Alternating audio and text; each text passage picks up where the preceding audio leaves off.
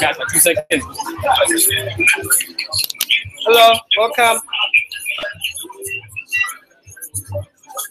Back to Kickstart. Hope you enjoy the show. At Josie. Sorry for the feedback.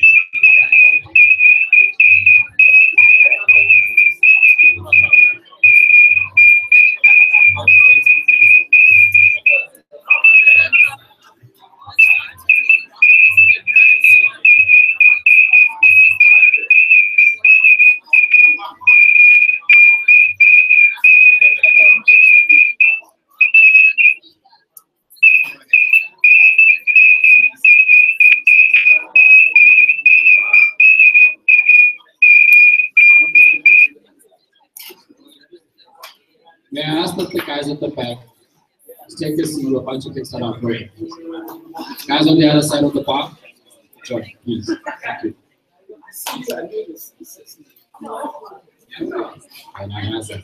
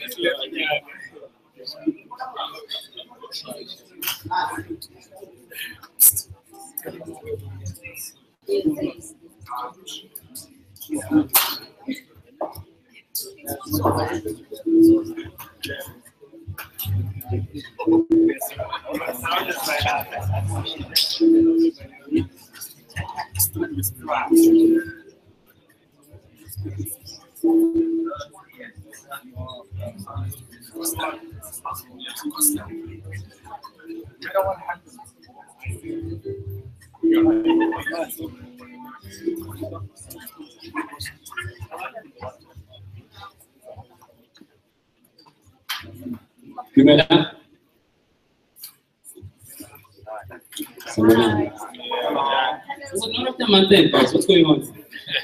Good evening. Oh. Good evening, guys. My name is Selebo Komolife, uh, better known as Dr. Lightsfield, and I'd like to welcome you to the captain. Anybody who's here for the first time? Just show, uh, show of hands. Wow. Okay. Anybody who's not from South Africa? People. Oh, wow. All right. I suppose we have a couple of guests to welcome tonight. I'm very pleased. Yeah, I know. I know. African child. um, I know that we've got special guests who came through the Yali program. Um, Mwiponi, step up. You know, we've got a beautiful friend uh, within the Bad Network. She loves this platform like you cannot believe. She called me, was yesterday or day before yesterday? So Mwiponi calls me up and tells me I'm coming with a couple of people um, who are in the Yali network and you're going to be joining us. And we can't remember Can you just tell us two, two minutes? Good evening. My name is Mwiponi and I was I'm a Yali alumni. Yali is, uh, is an initiative by President Barack Obama to raise the next uh, good leaders in Africa. So um, Yali stands for Young African Leaders Initiative. Uh, and I find I found the hookup dinner relevant for the entrepreneurship track, and I then suggested that they uh, they include the hookup dinner in the program. So it accommodates um, all the 14 countries within the SADC. So I thought um, the hookup dinner should be part of the program, and yes, the rest is history. That's right. Can you give her a round of applause? We admire such passion. We admire it more so because we are spreading the name into the SADC region. And um, knowing that you're here, you better be positioning yourself to be starting a similar thing in your country. And we, we're hoping for regional integration, and that's why we're here. It's, it's not a South African thing, it's an African thing, it's an African agenda, and we're obsessed about that. And we know that at the stage that we are right now, we I don't know, there's just there's just this energy that's rising. It's just telling us that we've got to come together, we've got to collaborate, we've got to do things together. And it's beautiful. And I'm hoping that we can connect a whole lot more. Just to give you a bit of an insight about the hookup dinner. It's moved from so on this side you will see the logo says the hookup dinner. So people think it's a place, dating society. If you want to get hooked up, you come here. Well, you're not too far off. It's a platform where you connect with enterprise and young minds. So you find people that are in the corporate space that are doing amazing things within the corporate. They happen to be entrepreneurs. And then you find people who are out of the system trying to knock in. Those are entrepreneurs. So we, we are all about sharing best practice, connecting with each other, giving each other ideas, and sharing opportunities together and doing business amongst ourselves. And we've proven it over the past four years. It's been a great, it's been an amazing journey, and we're not stopping. We're not stopping for nobody. And I'm really, really, really, really excited that Africans are connecting. It's, it's an amazing time. It's, it's an amazing time to be alive. And I'm hoping that we are going to carry it forward and we are going to connect even more. Our ethos is very simple. We say um, in our values, uh, we connect with each other, we engage with each other, and we contribute to each other's success. The third one is the most important contribute. So you don't come here with an attitude of taking, you come here with an attitude of what can I personally contribute to this community?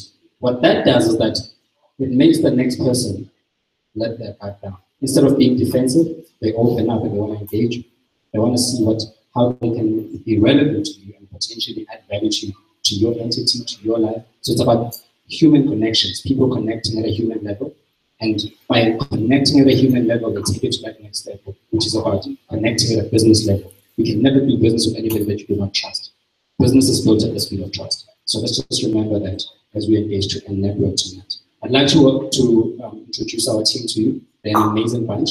And I'm excited tonight that we've got a couple of guys um, who are operating in some of the SADC countries that we're operating in.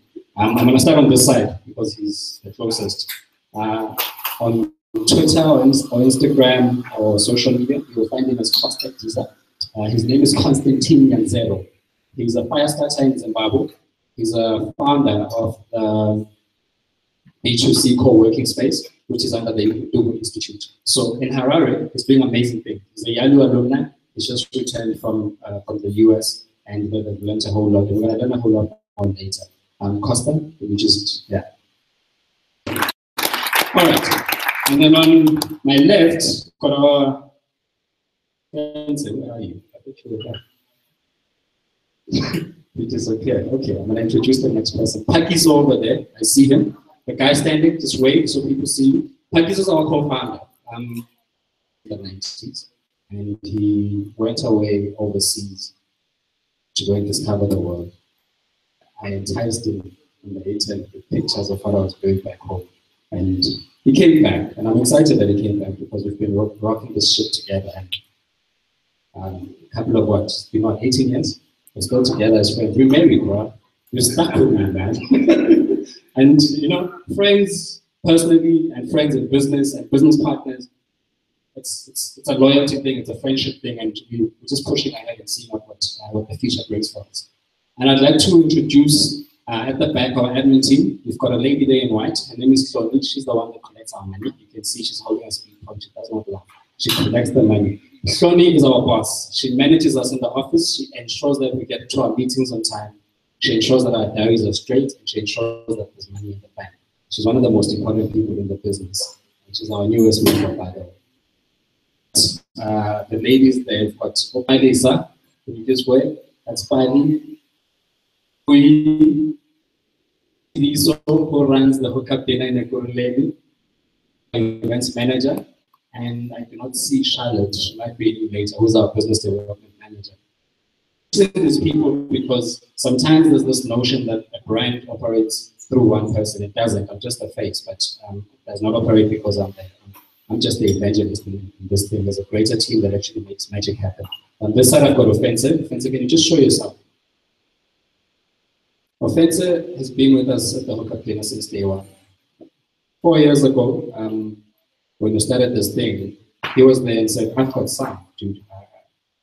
I just want to be part of this thing. And he contributes uh, as, the, as part of the AV team. And that's essentially how we build our network and how we build services that, uh, that, that, we procure in the hookup dinner. We ensure that we use other startups in our network so, so that we are not jack of all trades. Instead of buying someone and keeping it with why not use a small business that is actually specializing in that and share the, the, the, the, wealth and the resources amongst ourselves? And then we've got uh, Cooler Box. Cooler Box are the people that tell our stories. Um, it's over there behind a, a massive thing that is holding, and I see you his teammate tonight, which means you're growing, right? I'm excited about that. So he captures our stories. I mean, if you look for him online, it's Cooler Box TV. Um, anything creative, this guy will sort you out. He's, he's amazing at that. And just capture stories and we push them out there. We are building a TV series together um, as that, and we're telling entrepreneurial stories. We'll be uh, announcing pretty soon as we're going to be releasing that. So watch out for it. And if you want to use the services, feel free. Um, we'd like to thank Open for our hosts. Um, I know that Maggie's here. Maggie's the, uh, the manager for, for the space. Uh, we have been in a partnership with Open for the past three years so far. It was, it 2014 2013? 2013 when we launched it together with SAB Kickstart in, August. It was a year after we, uh, the, the Hookup Dinner was founded. And Open has been our home ever since. It's a hub for entrepreneurial, creative thinking for, for, for, for young minds that are looking to build up something and, and take it forward. And this is why we work this way. It's got a particular energy about it that I cannot explain but I love it here, and this is why we've stuck to it, and we haven't moved to anywhere else as the home of THUDjozi. So for that, we would really like, would really like to thank our partnership with them. Um, just to explain how the evening is going to function or what is going to take place for tonight. Does everybody have a program?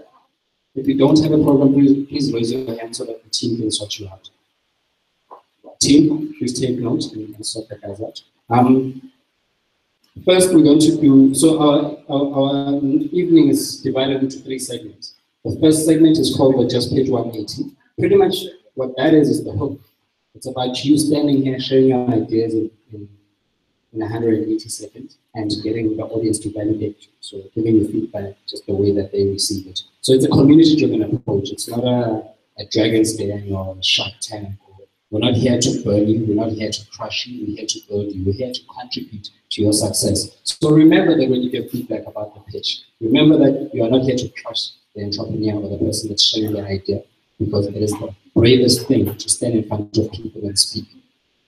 Like it is the bravest thing one can do. I know it personally because I have a very shy personality, but most people do not know that because I just get practice because I force myself to constantly stand in front of people. So remember that when you give people feedback, that don't crush them, but don't lie to them either.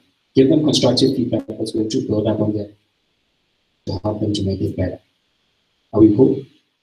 Thank you. All right. Next part of the program will be what we call the networking mixer. That is the most exciting part from the feedback that we've gotten over the years. It is about the community connecting, and engaging. So uh, the networking mixer is like a speed dating uh, type of uh, uh, situation that will take place. We put people into groups of 10 and they introduce each other in an elevator pitch style. So you've got exactly 60 seconds each to introduce yourself and share how you can contribute. And it breaks the ice so that after the official proceedings are over, you've got something to talk about. So it, you, you, happen to be a plumber and that's, that's what you do now. You're looking to grow within the space. And that's what you've shared with them. It makes it easy that when I engage you, oh yeah, you told me, I, I heard that what you said plan can tell me a bit more. It's just an icebreaker. It's a way of making sure that all of us here get to know each other. Most people come to a networking function, they engage one or two people with the person that they came with, and they, they leave. So we, we're really obsessed about breaking that because what is the point of coming to networking events if you're not meet new people that could potentially add value to what you're doing? And then the third segment um, is what we call the masterclass. What the masterclass will do for us tonight is um, just give us insights from an international perspective. And what is going to happen tonight is very exciting for me. I'm going to introduce the lineup a bit later. I don't want to spoil it just yet. And you can see on the program, but I'll tell you a bit more about our guests that are visiting us this evening. It's, it's a very, very special evening for us. And it's been a very special week for us because we've had the opportunity and the pleasure of engaging with our international guests and, uh, and show them what's happening in the local ecosystem.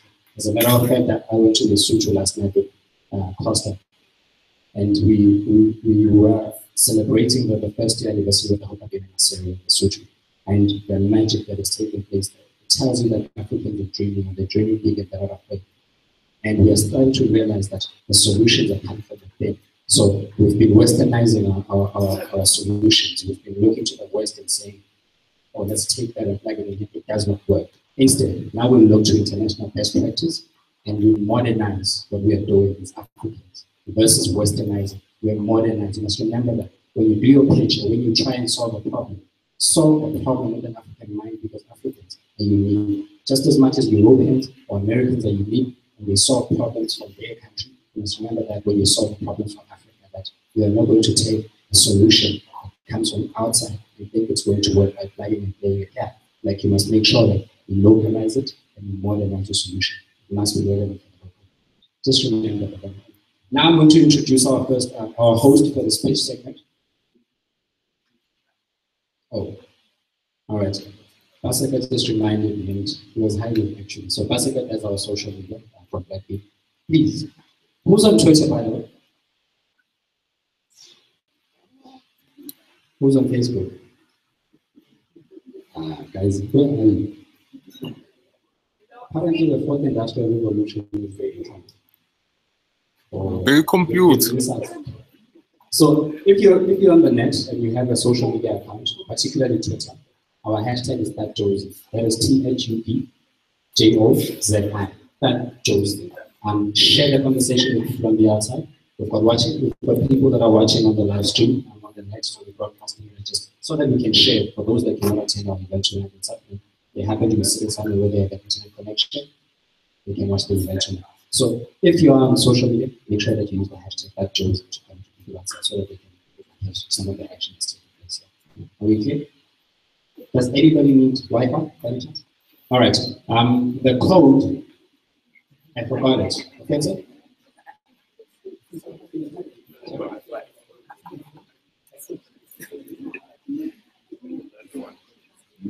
So look for, just search for Wi-Fi. You're gonna find open. When you find open, um, type in on the username FHC, and the password is FHC. Clear? Small caps. Everything is small caps. Username FHC, password FHC. We'll try to keep it as simple as possible. We're hoping that we can connect online and share the conversation that will be taking place. I'm going to introduce our page host. I'm very excited because we're constantly trying to do different things here. And our day one, come here, my guy. So we've got a guy called Octavius Okubo. On the net, we call him OP. He's the corporate Bantuda, and he's the head of uh, enterprise development at SAB Kickstart. He's going to give you just a 30 second pitch about who he is, what he's passionate about, and then he will jump straight into the pitch. 30 seconds of introducing yourself. Okay? So um, my name is Octavius. I didn't get that brief of introducing myself. Um, but my life is about waking up, looking for entrepreneurs, investing in them, and seeing them grow. That's really what I do. Um, whether they're in agriculture, they're in pharmaceuticals, they're in, in fintech, they're in whatever industry they're in. That's my job and my team. Um, and, and I'm hoping that scope will, will increase now with AB InBev now, you know, being the, the new bosses. So uh, we don't know what, what going to change, what scope going to change. But it's exciting. That's what we do. And yeah, I think that's as far as, as my intro is concerned. I think that's just about it. All right, cool. Who's from East Africa? East Africa. In here? No one? Um, West? No? Right here, right here, man. Okay, okay, good. So West. So most of, well, all of us, excluding the guys from UK, are from South. Yeah? Almost. Okay. So, so can you agree with me that, um, would you agree with me that there is chaos? Right? There's chaos right now. If you, know, listen very carefully, closely, put your ear on the ground. There's always chaos across the continent. Yes? No? Okay. I'm not sure what you mean with chaos. I, I, I would have expected someone to ask. But anyway, uh, whatever you think that chaos means, um, I think it's the best time to be alive. I think it's the best time. So the next pictures that are going to be coming through, hopefully, they'll be telling us, indulging us on how they will be taking advantage of that. I think uh, level of practice talks about, you know, how beautiful chaos means for entrepreneurs. You know, it's like a, a green field, kind of come up with any opportunities. Uh, so, so I'm hoping the guys that will be coming through will, uh, will, will indulge us with that. So, in front of you, most of you guys, when you came in, you should have been given this. Uh, it's a little um, pamphlet showing the guys that will be pitching tonight. You guys got all of it? Yeah. The back of this, uh, this pamphlet there is uh, the names of the guys that will be pitching tonight and how to score them. So you score in these guys when they pitch, you listen to them between uh, one and five, five being the highest. Do not count the shortest score. Got a team that's going to consolidate all that for you. Okay. You listen? Okay. So we're good. The um, I need the guys that will be pitching now to we're given push clinics, right? Am I correct? So they know their story. They should know their story. At least we expect them to know their story. But I'm hoping that what they'll also do is what I call the stories. In, in. Yeah? No? Maybe? Okay, thanks. um, first one we've got is Mulema. Is Mulema around? Where's Mulema? Yes, where's Mulema? We also have Zwemi, Zwema family, right at the back. And we've got Mhlanganisi. Is he here? Okay, there. Is Tafazo here? See the name is uh, from, uh, amplified. I'm not sure. She or he, the unisex name. Tafazo. It's a guy. The guy? Yeah. Okay, but I put the unisex. Anyway, uh, is Bobby Kosi here? Bobby Kosi Mutau of Nativi Group, not here. Right, so who's our timekeeper? So you're going to be our timekeeper. 180 seconds. Um, and I'm hoping that these guys, they, they will take advantage of what they've been trained on during the pre-skills. And I will invite two questions from the floor immediately after the, the pitch. Um, I need Mulemo to come through and the stage is yours.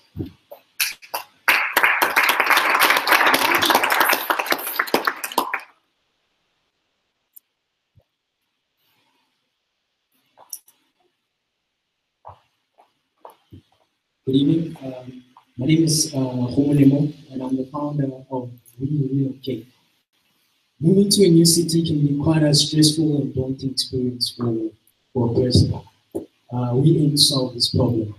Uh, we Relocate is a service which helps uh, professional migrants, um, students, and families uh, relocate uh, with their relocation needs to a new city. Uh, we help um, our clients um, uh, find accommodation. We help them with their transporting needs because they're in a new city. Um, if it's a family, we help uh, the clients you know, find a school for the kids. Uh, we also go as far as to you know, help with uh, area orientation. Um, and as well, we help with your furniture removal. So it's a package, it's, it's a package service um, which aims to you know, solve um, um, the problems of a person who's moving to a new place. Um, our, our, our market segments are, are divided in those three. So we're looking at students, we're looking at students, we're looking at professional migrants, we're looking at um, at families as well. So our revenue streams uh, happen this way. We charge our, our, our clients for each of those services that we offer. Um, so another, so for final accommodation, we charge you. Um, for finding school for the kids, we charge as well, and so on and so forth. Another um, um, revenue model, uh, revenue stream for us is the commission we earn. So if it's a student who's coming to a new city um, and they, you know, they need beds and fridge and so on and so forth, we currently negotiate with Metro, which is a, a retailer um, and, and furniture company, so that when we bring our clients over, um, and we earn commission from what from, from what they purchase as well. Uh, from the state agents as well, we um, uh, we find accommodation for our clients. They not only pay us, but as well we earn commission for looking for getting um, a client for the for the state agents as well. Um, our competitors are, are quite vast. So we're looking at your furniture removals, looking at your um, furniture removals, like I said, um, and as well uh, some of our competitors. Um, um, so yeah, furniture removals and transport, transport, transport uh, organizations, um, transport organizations as well. But we have a competitive advantage because we offer package service for for, for our clients. Uh, what we're looking for in terms of finance is uh, 340,000. Um, 80,000 are going to go to buying a vehicle, so we transport our clients when we're the city, then we're showing them around like we're doing the uh, 130 will go to getting a truck because we, uh, to be able to move around the furniture. Um, and then um, 70,000 will go to our working capital. Um, and then 60,000 will go to our branding and marketing because we need uh, to establish our brand identity. Uh, we've been in business for three months so far.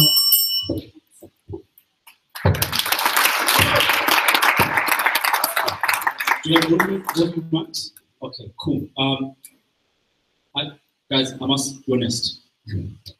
These guys are very lucky. From the time Business started, there was no one who used PowerPoint presentation to assist your pitch. Like I'm like I'm sitting there thinking, wow, so there's a deck. Jeez, this guy like because that's like double the minutes. You are actually at 180 times two. Because you're talking in this, that thing that people are reading there. So I think we might just need to reduce that time to like 60 seconds. you know, to make it with 120, something like that. Okay, so questions? Um, two questions. Um, uh, put a hand there. Yeah. Umulimo, I believe. Umulimo. Yeah. Um, just a question or a point of concern uh, in terms of how you're going to use your capital outlay wherever you going to invest. You, you essentially your business is to assist people who live in cities. Now you want to purchase vehicles and trucks which are going to be based in which particular city. I think it's a bit of a concern. The other thing that I would, I would, I would recommend to solve that issue is if you probably have partnerships with companies that Uber, for instance, or companies that do that so that you can be able to get into other cities with ease. Because uh, I'm, I'm concerned that you're going to be able to service one city with those fleet, but then what about the city that you're not based? So it's just from that angle that I'm just helping more. You want to answer that? Go ahead. Can I, can I go ahead? Okay. Um, I'm also concerned about your location, where, where actually visit is. But moreover, I'm also concerned about your competition because the, the guys that sells beds and whatnot cannot be a competitor as you actually research the market because your business seems unique in terms of helping uh, families and, and students. But how do you have people that do the similar thing that you do that they are actually spotted as a physical competition?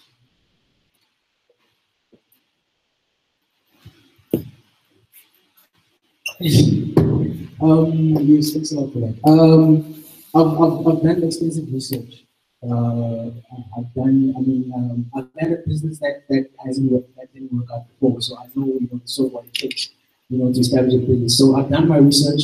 Um, for everyone who's here now, if you go and search patient service, you'll find um, that you, you know it's, it's furniture removal companies, um, and they don't go as far as we go to um, you know we, you know how we assist our clients. So this this model actually um, I found I, dis- I discovered this model before. Initially, I wanted the business to to help foreigners who are coming to the country to integrate. Right, so I, I looked at okay, that might be the barriers to entry might be a bit high for that. So I, I, I localized it and said, how about I help as well people who are in South Africa who are going to move to the city. Um, so the, the- model is well, if you if, you at uh, embassies, embassies have this model whereby if someone's coming from overseas, they they will as an employee as an employee of the, of the embassy, they actually do all the services for them. But as far as I've searched um, about this exact model, I'm yet to find the exact model, which is why I say my competitors are those, you know, those uh, various sec- sectors, um, you know, of business.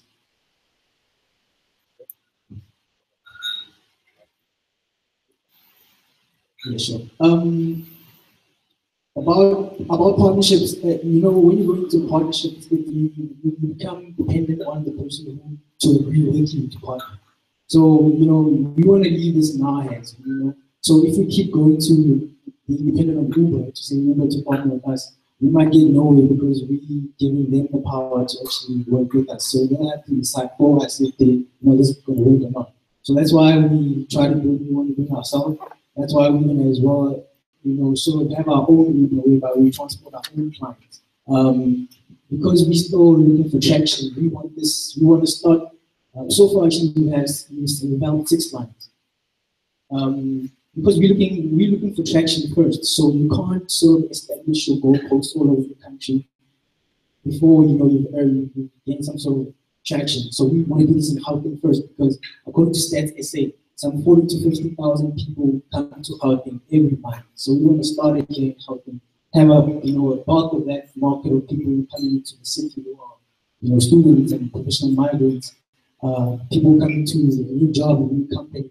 Um, you know we want to service those people, and as well our our network. We we working with um, you know companies to say if you're a company, have us on as a service provider. or if you're not to have someone as a service provider, at least recommend us to a client because you know we've, we've proven that this this this concept actually helps em- employers because you know when you're employee and you're moving to city, it's quite stressful and it's difficult to hit the ground running from the first day. So we help employees hit the ground running from the first day because we take care of all them. Cool. Thanks so much, Malemo. Guys, you can. Um, we like him. Um, that's his very proposition from his statement. I think it was even on the deck there, um, which is a bonus, um, massive. So funding needs. Um, so, so yeah. So thanks, guys, for the questions. Do we have Zweli? Where's Zweli? Um, you raised your hand. Um, some okay there. cool thank you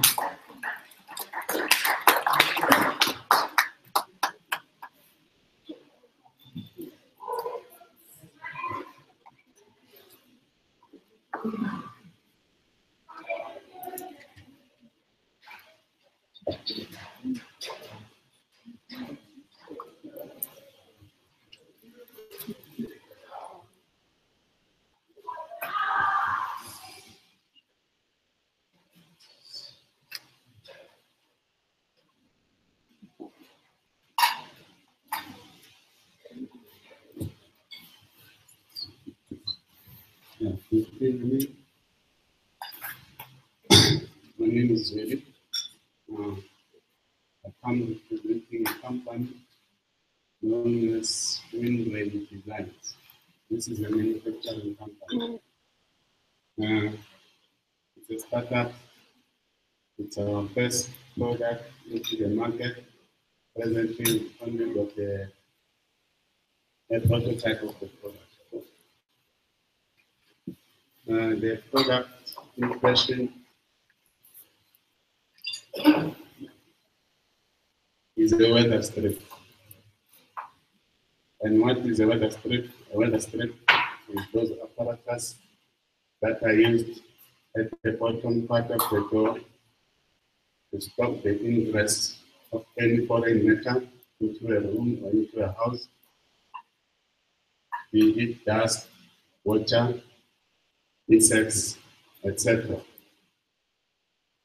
Uh, with this product, for us to go into the market, we need 500,000 of your beautiful rains. Um, we have been in talks with some retail outlets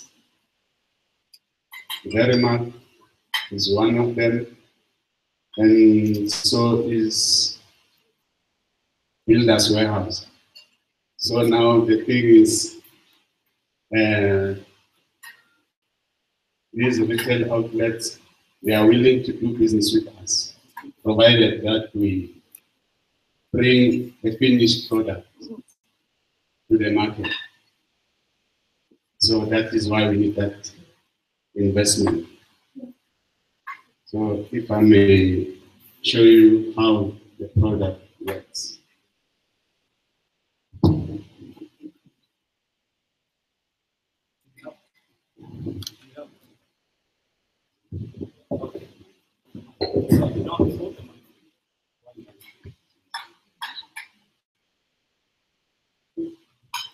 So this would be your door.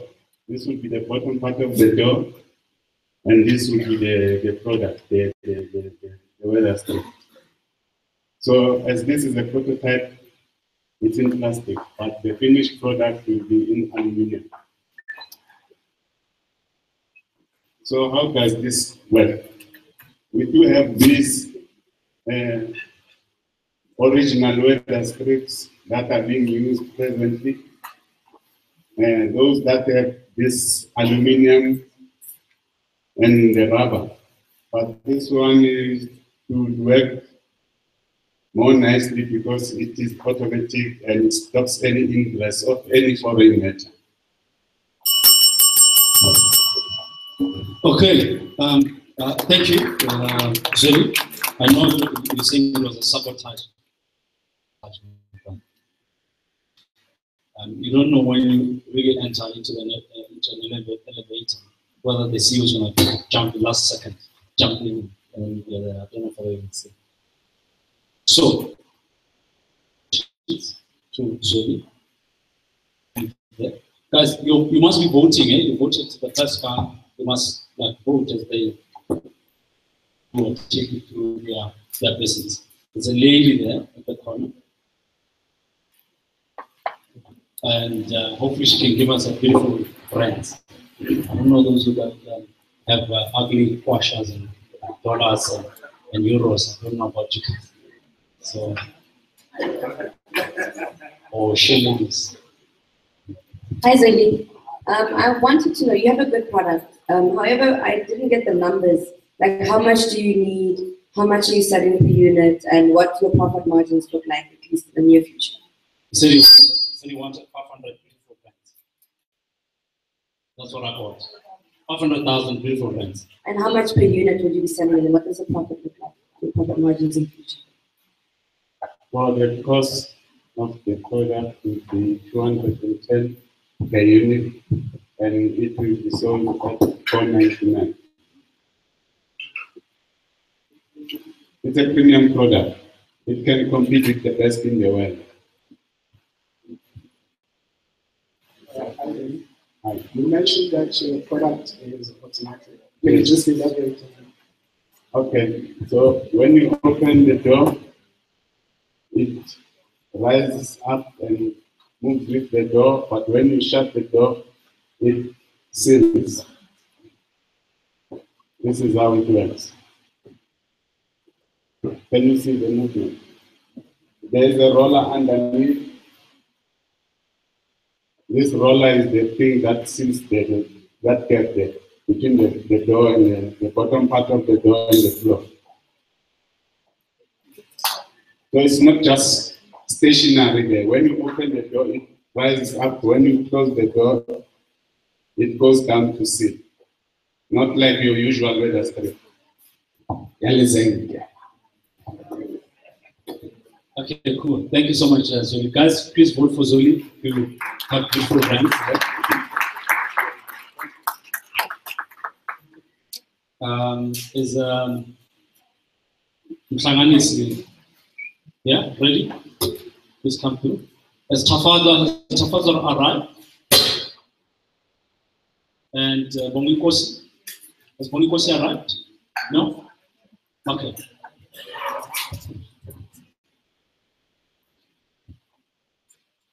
So before we start, uh, we're gonna have a little tablet roaming around, just look at it, that's our beta, play around with it. Um, order the poison that you want, that's fun as well. So just, there's a tablet everyone can see. So hello, I am Mhlanganisi and this is Kwezi, we're the co-founders of Dope. I think our guest should be coming up. How many of you have run out of alcohol at the most weirdest of times? You can be honest, it's fine. Yes. How many of you have had to drive? How many of you have had to drive to bribe Metro Police? You see, it's a bit of a problem. So people run out of alcohol at the weirdest of times. And in fact, this is what we got when we did our market validation. A lot of customers say, I run out of alcohol, I just don't bother. Um, and then I have a crappy evening, and then I just watch uh, television the whole night and I'm depressed until the next day. And this is the problem when people run out of alcohol at the same time. So what we've done is we've built an alcohol delivery platform called Dope which lets you order your alcohol and gets it delivered to you within 30 to 60 minutes or 59 minutes because we're quirky like that of having ordered it. So our UX is pretty simple. Um, I wish that it would come up on the deck. Our UX is pretty simple. The app geolocates where you are. You, you, you, you log in, you look at the product catalog, you order it, and it's delivered to you within 60 seconds of having built that. Now, we're looking at running within the northern, the south, the east, and central Johannesburg is the start. We're going to be moving to Cape Town next year, and then Durban later the, the year after. So we've done that, and we'd like for you to play around with our beta because we think we have a great business model because we you about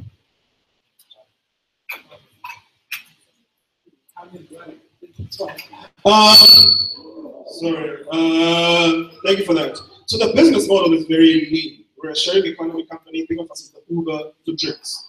Um, it's simple. Uh, we don't own the shops. We don't own the cars. We don't own the, the packaging. Um, we leverage partnerships, and our thing is how do we effectively leverage the efficient usage of resources effectively.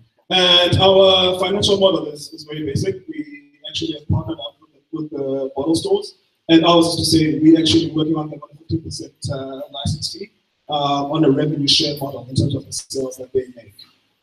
Um, in terms of uh, the team, um, it's just me and Clarissa. So I'm a former McKinsey, and I've actually gotten very excited about the tech space that we worked um, within the tech space at Sweeps out before, and Clarissa is also um, has worked in Silicon Valley at Base Ventures. And I think we like the fact that we have Yali Fellows we were part of the first cohort as well. So thank you very much.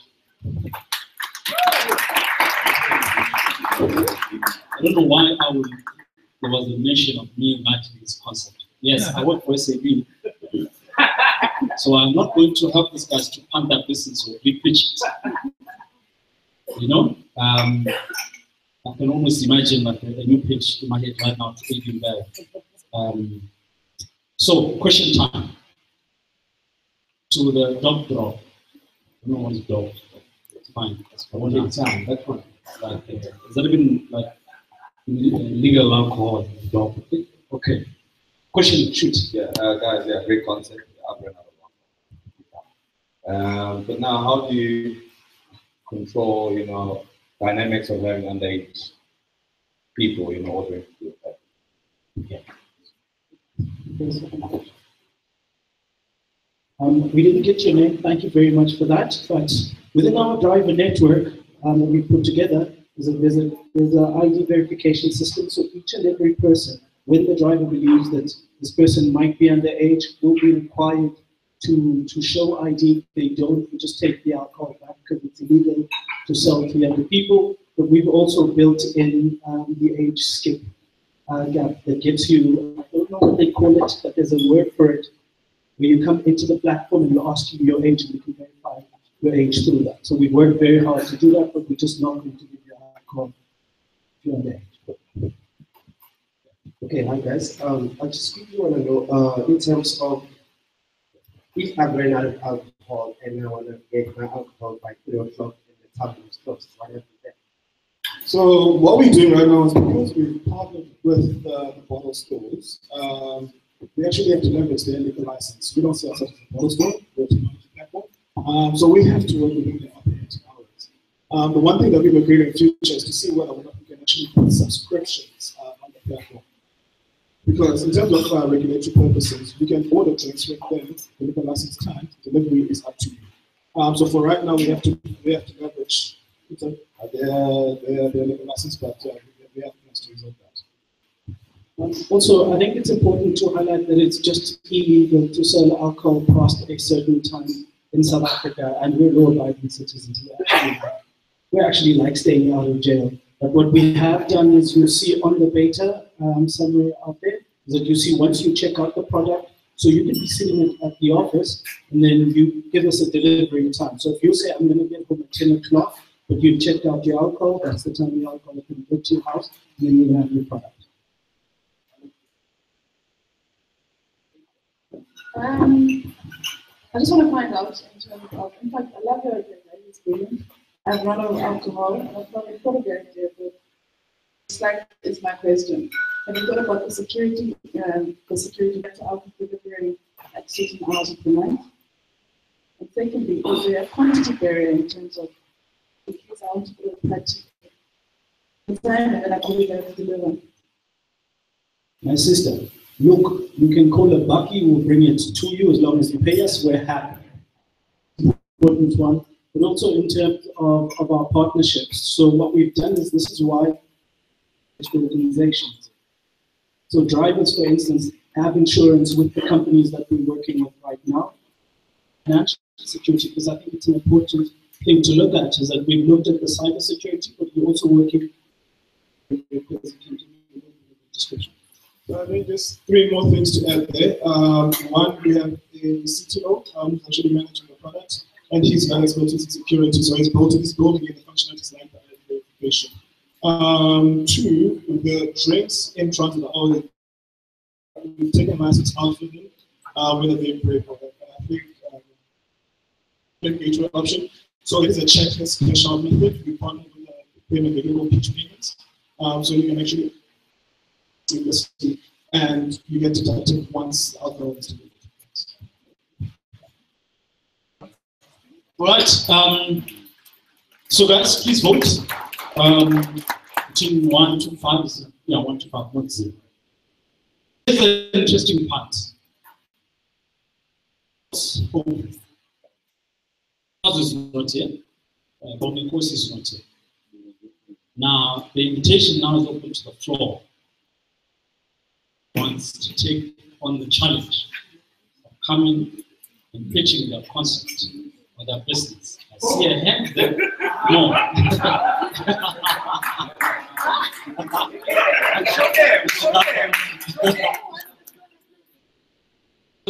So Mipone is a special case, you know, because Mipone has pitched here before and has won before.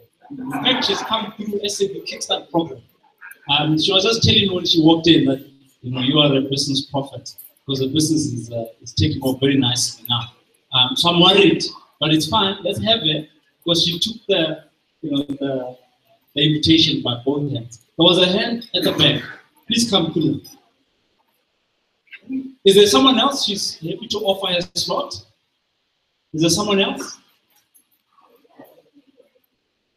Okay, so in the absence of any takers, so gonna go with, with Mboni. My brother, please introduce yourself, and you guys can write his name somewhere. If you can, add your Twitter handle so that people can follow you and, and whatnot. So we'll give you a grace time of two seconds more. You know, um, there's a timekeeper, so make sure. Um, you wanna go uh, introduce yourself. Good evening, guys. Uh, my name is Gary Mkhali. I'm a founder of a newspaper called Plus News. So basically, what Plus News is, uh, Plus News is a newspaper which writes about everything that's positive. If you could look at the, all the newspapers these days, all they write about is negative stuff. So we aim to tell our inspirational and motivational stories, to tell the untold stories, not just to always be negative and think South Africa is just a bad country that the media tells us to. We actually have a lot of things that we can celebrate as, as the citizens, besides being depressed and being negative because of what the media is telling us. So we aim to inform, to tell stories that are motivational, uh, positive, and to also add value in, some, in someone else's life. There are so many good things you, that can happen when you read Plus News. Basically, you can develop a good positive mindset. You just you don't just get to be negative. Uh, say you wake up today and you come across news that are negative, they're obviously going to affect your day. So when you read Plus News, you are sure to always be inspired and to think positive and to always believe things can always be better. So what Plus News does, it's a we tell the untold stories. We recently did a story with uh, another guy called John Flo. John will be graduating with the University of Tshwane. He's a former taxi driver. So I know everyone else believes taxi drivers are horrible and negative guys, but no, there are stories like Joe that we want to tell as Plus News. So the challenge we encounter as Plus News is that we, we just a small team of 11 young, hungry people. So we don't have funding from anyone else in terms of running the whole operations, to going to doing stories, traveling, doing everything.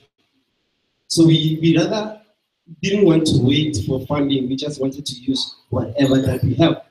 So we decided, let's use what we have to get where we want.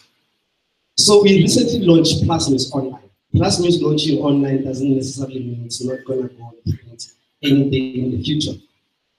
So by launching it online, it's, it's, it's a less job and money spending for us because while we launched online, we basically don't spend much. What we do, we find someone who's good with you know, great website and they did it for us. Everyone is welcome to check Plus News by just going on your phone right now and just click www.plusnews.co.za. We're not on Google yet, which but we're working on it. but we hope to, to grow and be one of the, the biggest publications that tell only positive news. Right. A big round of applause for this guy. He took the bite and he wasn't prepared like other guys. Well done, well done. Questions? I need one question. One person to ask a question. Um, um, no, that, that, on a, invite question. I'm not pass that one now. Go for it. Hi, I'm KK Diaz, I'm business coach. Um, I want to commend you for you know, your spirit, your energy. I think you've got uh, you have great energy. My question is, what is your your business model? In other words, what is your revenue model? How are you making money? Thank you. Just like any other business, we look into do advertising. But the best thing about Plus News is that we don't wanna we don't wanna limit ourselves. We wanna give advertising to small businesses that can afford the big media publication advertising. So by advertising more small businesses, that can help us raise our revenue and partnership.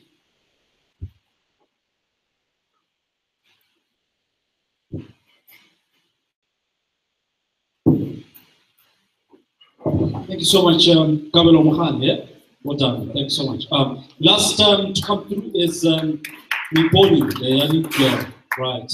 Um, uh, Yali lady.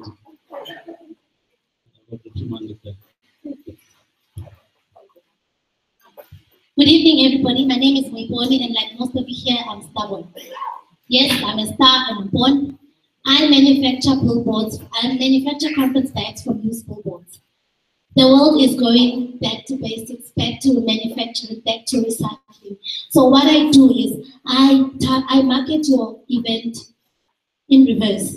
So when you give me your billboard to make a conference bag for you, I use it for the next event for your business so that you can market your business. Well, the, when the business prophet came over, when I was at SAB Kickstart, he was not impressed with the conditions that I was working in. And then I went back. Now I'm working at my mother's garage.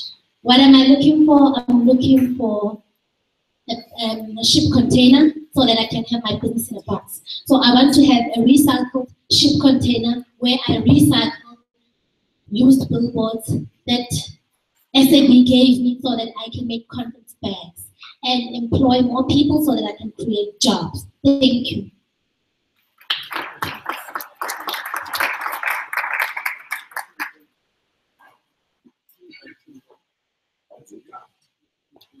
Right. Well done. Um, one question for uh, the young lady. Will you take it? No take it? No question whatsoever. So you guys, you got it. So you understand everything that she said. Makes absolute sense. Okay, so there's a hand there. Uh, Just ask. okay, so just shoot. Please raise your, raise your voice.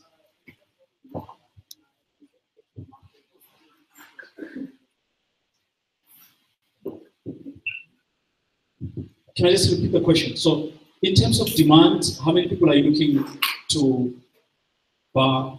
Yeah, to buy the product. Yeah, Is that, did I get the question? So everyone got the question. Cool. Currently, the people who are looking and buying the product are um, companies because they don't know what to do with their old banners or marketing marketing banners or billboards. So what they do instead of taking it to landfill, they bring it to me and then I resell it to them, even event planners. So the demand is there. I just need to create more jobs and get more orders and more. Thank you. Well done. Um, thank you, guys. Please vote um, for your your favorite entrepreneur. Please put your beautiful mark or number there. Um, we've got Mulemo from uh, Relocate, and we had uh, and his, uh, his partner from Dog Drop and we had uh, Gabriel Mahali from the newspaper, and saw now, and Zweli, who is from uh, Women Rain Designs. So please um, rate the guys, and uh, Wes and the team, uh, they will come later to collect so they can consolidate the scores. Now, okay, so so you need to the part that has your scores, and uh, please pass it to the side and uh, will come and collect now. And with that, thank you guys. Uh, congratulations to those that pitched. It's, uh, it's really not an easy, an easy thing. And I will hand over to the boss of the, of the, of the night. Guys, can you give him a round of applause? You're it, right? Um, I think it's an amazing thing for us to have one of the people who are the champions of that and that have given us um, so much support over the years. SAB Kickstarter has in fact been one of our, our biggest partners um, throughout the country. And they, they, they're the one company that scaled us at a national level and helped us to gain traction at an international level. We've been able to travel all over the place. We've launched the hookup in Israel, even launched it in uh, Australia. So it's an amazing thing when a big corporate uh, brand partners with a small entity. Um, I'm taking voted, right, please just let's complete that. You're gonna tear that uh, the, the program down the middle. I just want to just check quickly what's missing.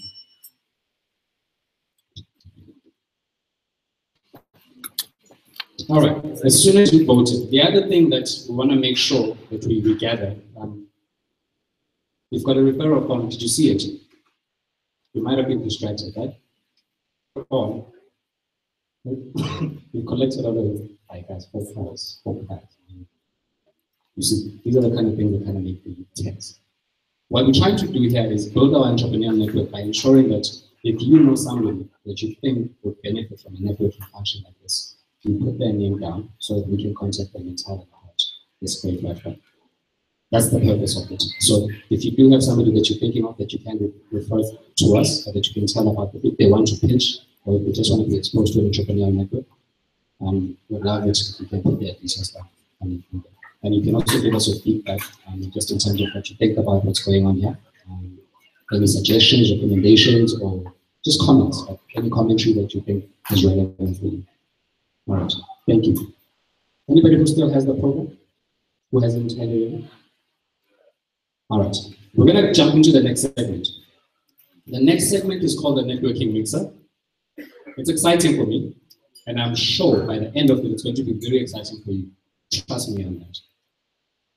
We take exactly 10 minutes to do it. Each person has got exactly 10, uh, 60 seconds to engage in a group of 10.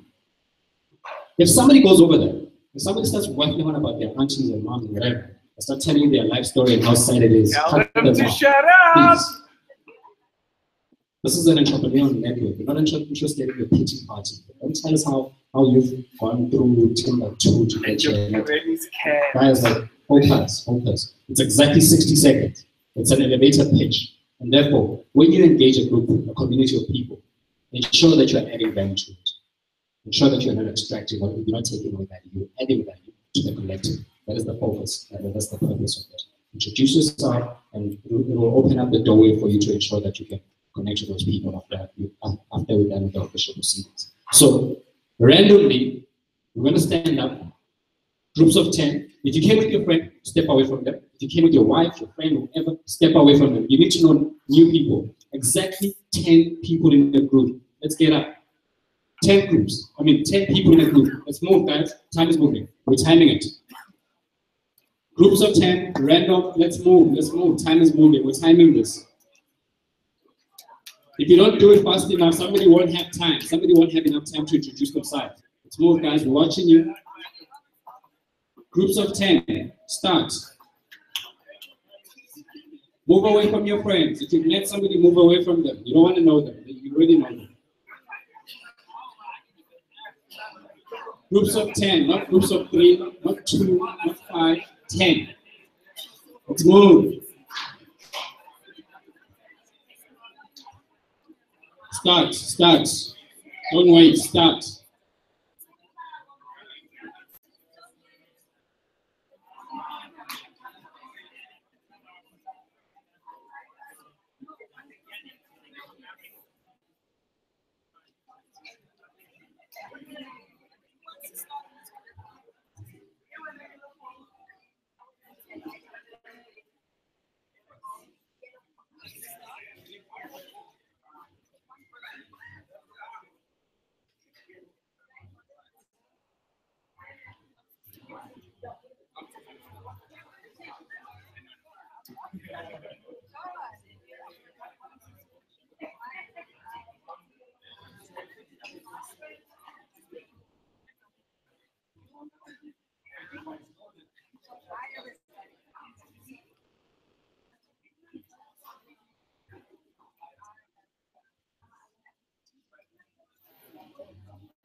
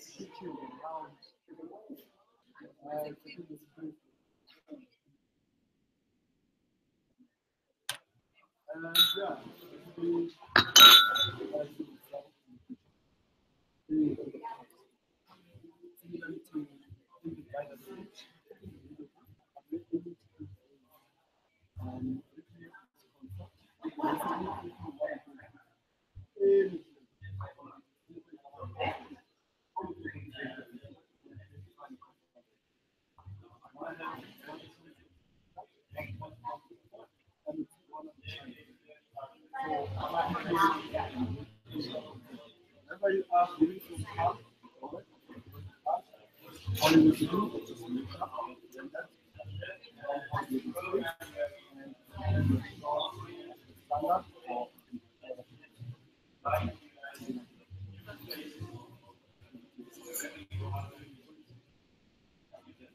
are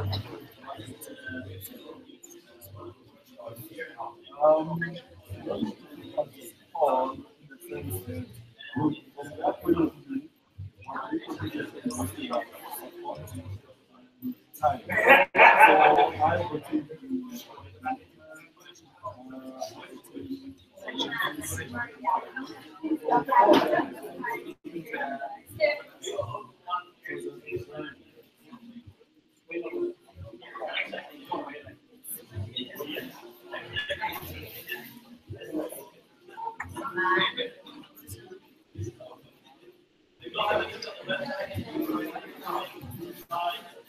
stand up or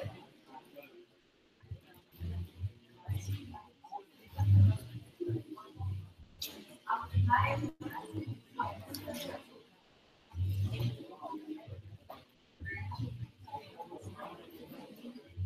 So I would think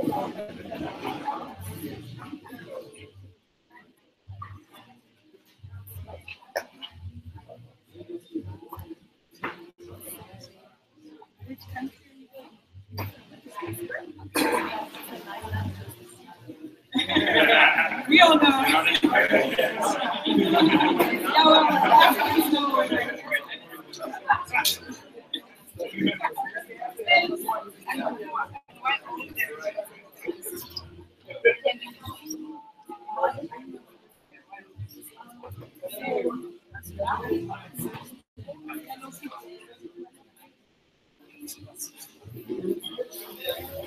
you.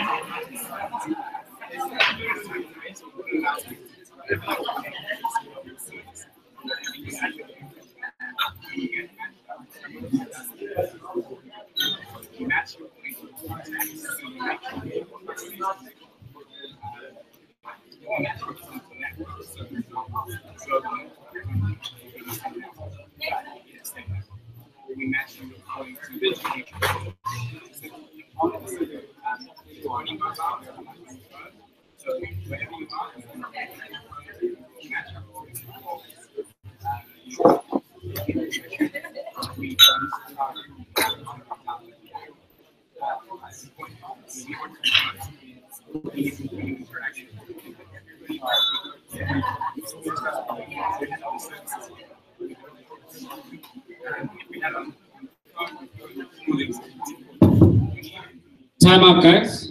Time up. Can you take our seats, please? Sorry if you haven't engaged. I even gave you extra time. Let's take our seats. Let's respect the program. Let's move. Let's take our seats, guys. Let's take our seats. Let's take our seats. We're about to kick start into the next uh, segment. Guys at the back, let's take our seats.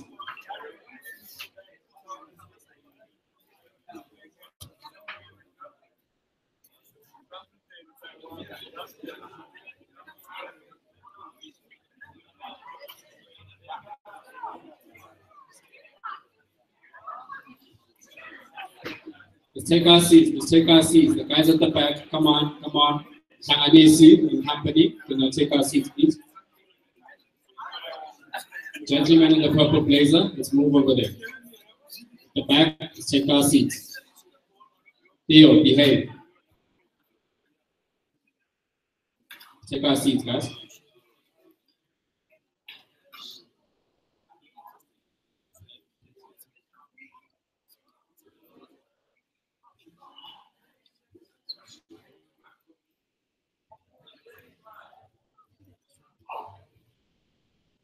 All right, guys, was that enough time?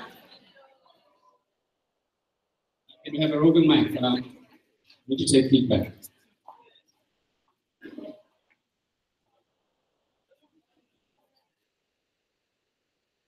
Um, bit of feedback. Would like to know what you think about the networking mixer.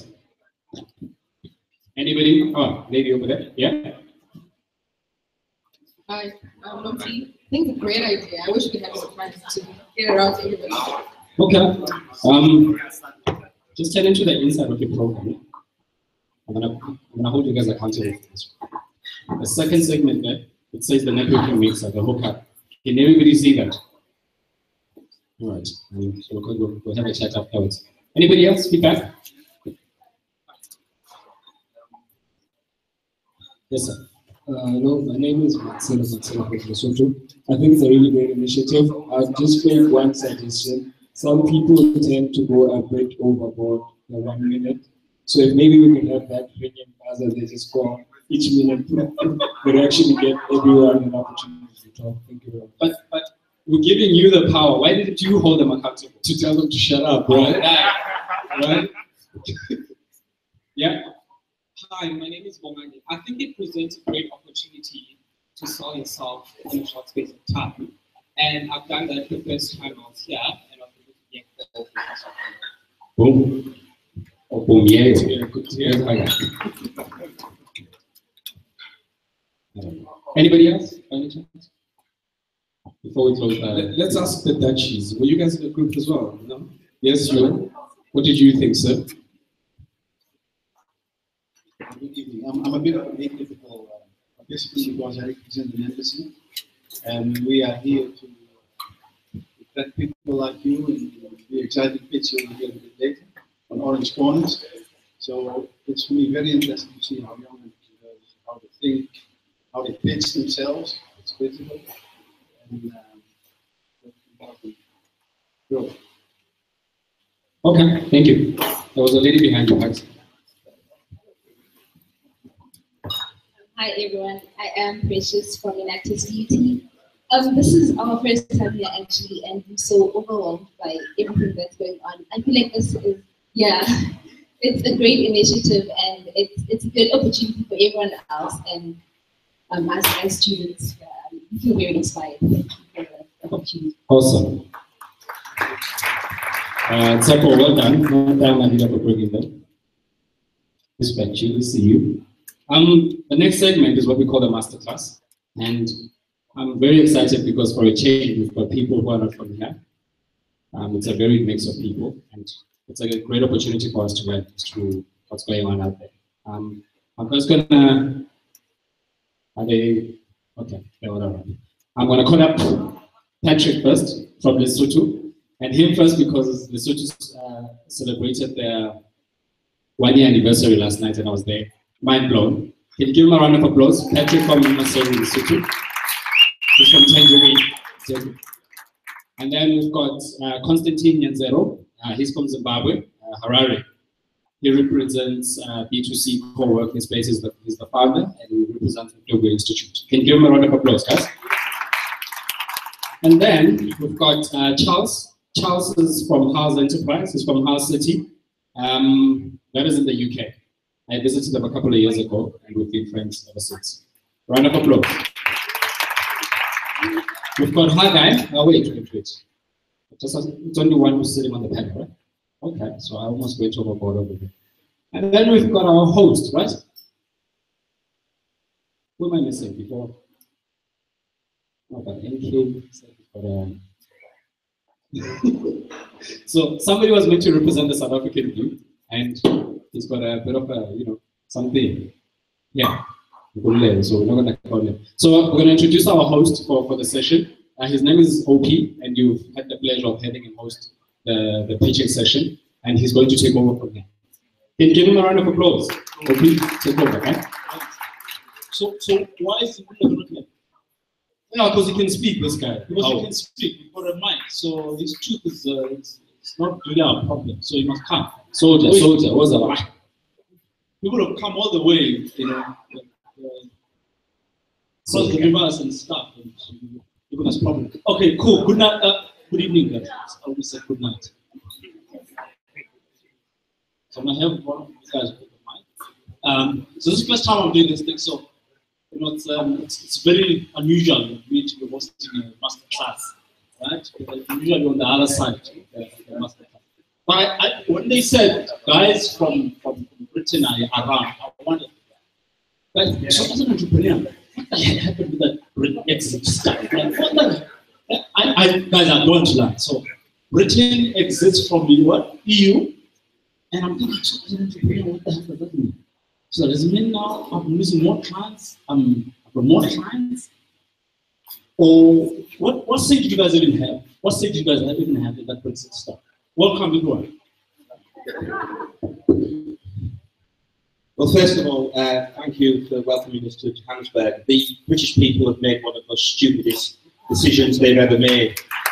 Um, just as other countries in the continents across the world are coming together, whether it be America, whether it be Africa, whether it be Asia, we decide that we don't want to apparently work with our European partners. Now, I find it strange that I can have a good relationship with somebody from France, from Germany, Germany, Lithuania, but somehow nearly 56% of the British people actually make a decision that means it's going to be more difficult for me. There's no doubt that you know the EU, a bit like anything, any economic unit, actually has its problems, and the EU has many problems. But just exiting from it is absolutely barmy. And certainly it's bad for the city of Hull. We're a European city, we've with Europe for over a thousand years. So we'll just have to wait and see. But there's some of us that actually still hope that we won't end up exiting and that things will change and common sense will prevail. Well, let's, let's hope common sense that eventually prevail. I was hoping you could use the word dumbest as opposed to stupid. Stupid. But anyway, so one of the things that we usually, you know, encourage among you know, entrepreneurs is to think globally. And I think we probably have had this many times. And the South African guys, when they hear about this thing, you know, and competitively speaking, guys from Zimbabwe and Lesotho, about where this positions entrepreneurs, opportunities, what it means, and how to how to start developing products or services in line with what's going on in the world. Make of that. Thanks, OP. Um, you asked a very, very interesting question about Brexit because I think for Lesotho entrepreneurs, um, it means two different customs uh, arrangements now. The initial arrangement, if you're importing the European Union, we had the benefit of having the British market. But with the UK leaving, um, that means you have to, you have to price the way. Um, it's especially challenging for an entrepreneur in Lesotho because, as I'm sure you can imagine, the market is very small. Market of 2 billion, which is smaller than the market, the Soweto market, which is pretty small. I have no choice but to look outside of it. The next closest market is the African market. Textile industry that exposed to the US and other countries. So the Brexit process is very major in any other region in the world because South Africa sneezes, the super catches a cold. You can get rid of pretty well.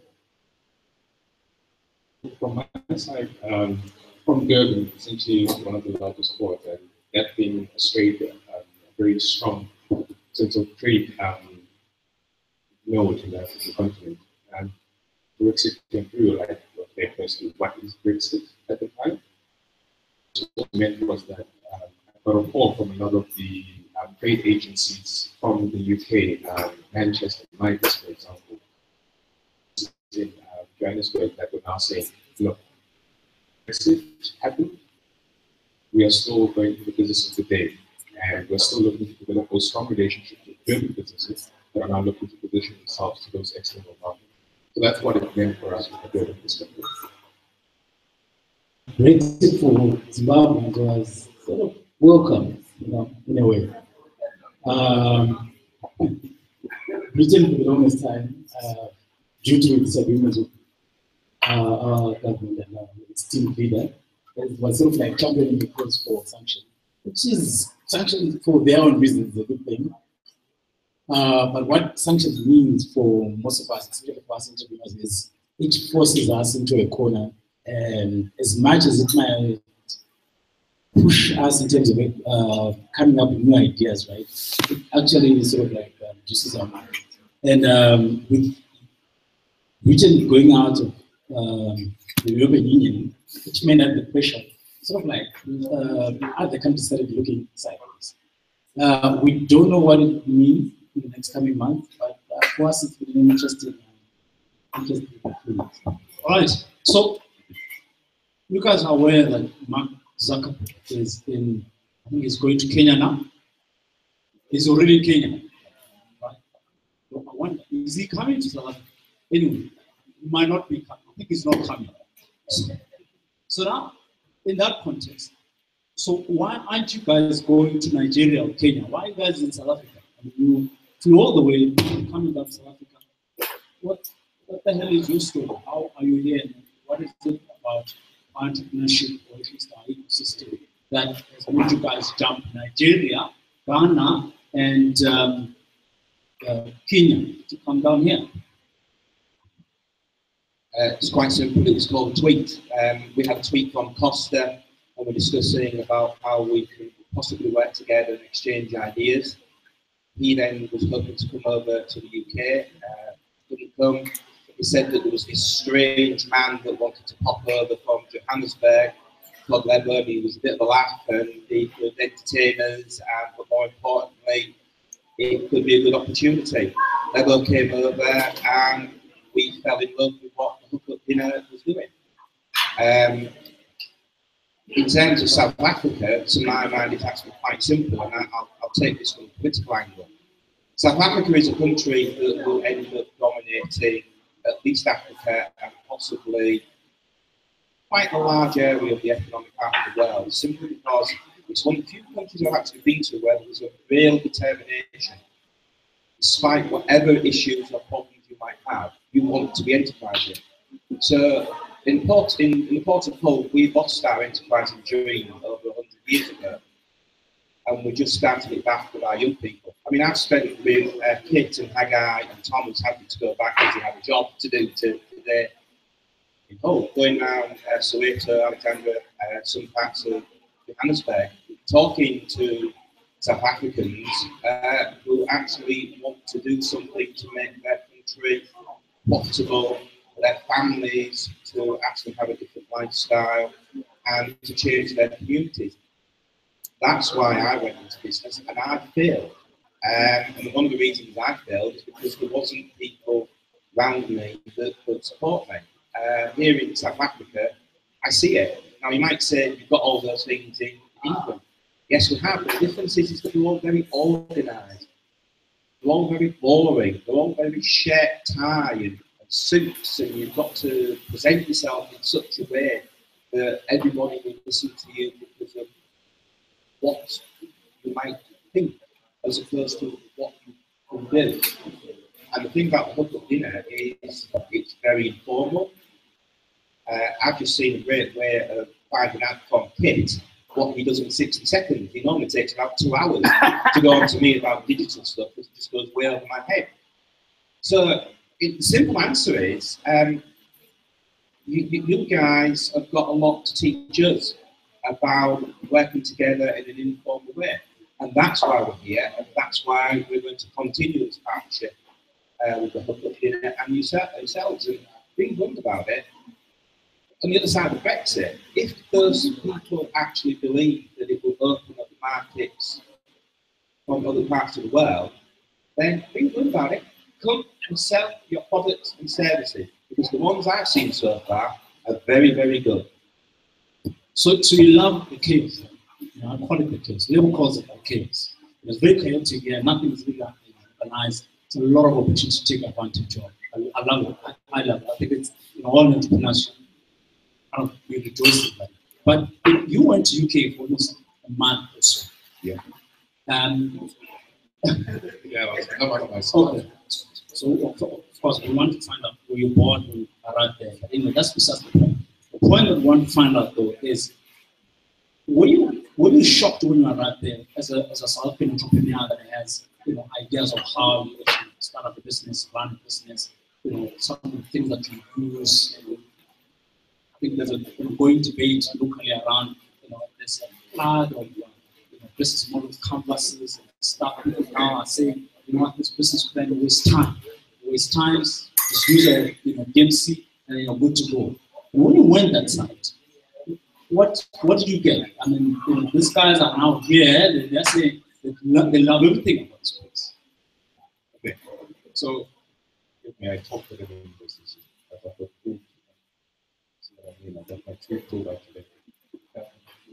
But anyway, um, so here I am, young, young entrepreneur in South Africa, thinking that I'm exposed to phenomenal tools. Uh, but when you off the flight and you're sitting at the airport and you're sitting at Stratford Station and you're wondering what's my next move, people honestly don't put it down Hey, I'm lost in my train way. They don't, they just move along. And the sheer pace and the sheer measure of the way they work is phenomenal.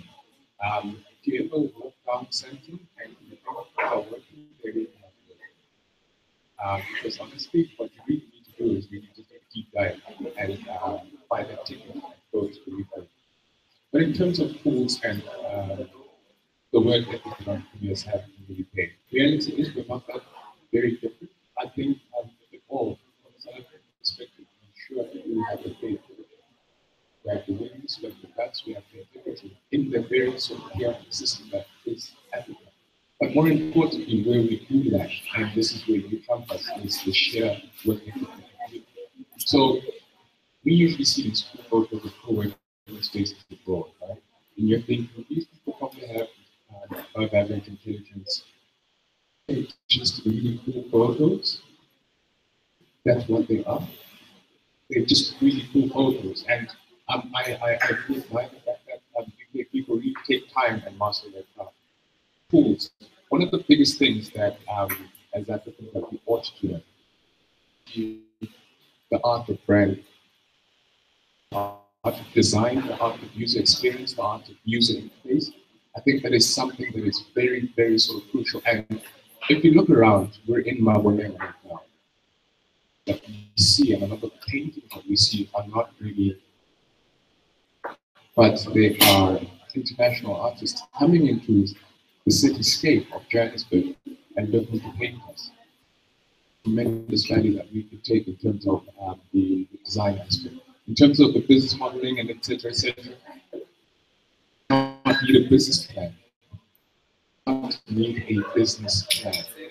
You don't need a business plan. Need is a minimum viable product essentially getting off your ass and get work. Because no one really sits down with you if you still can talk about, hey, here's a plan. No, it doesn't work like that.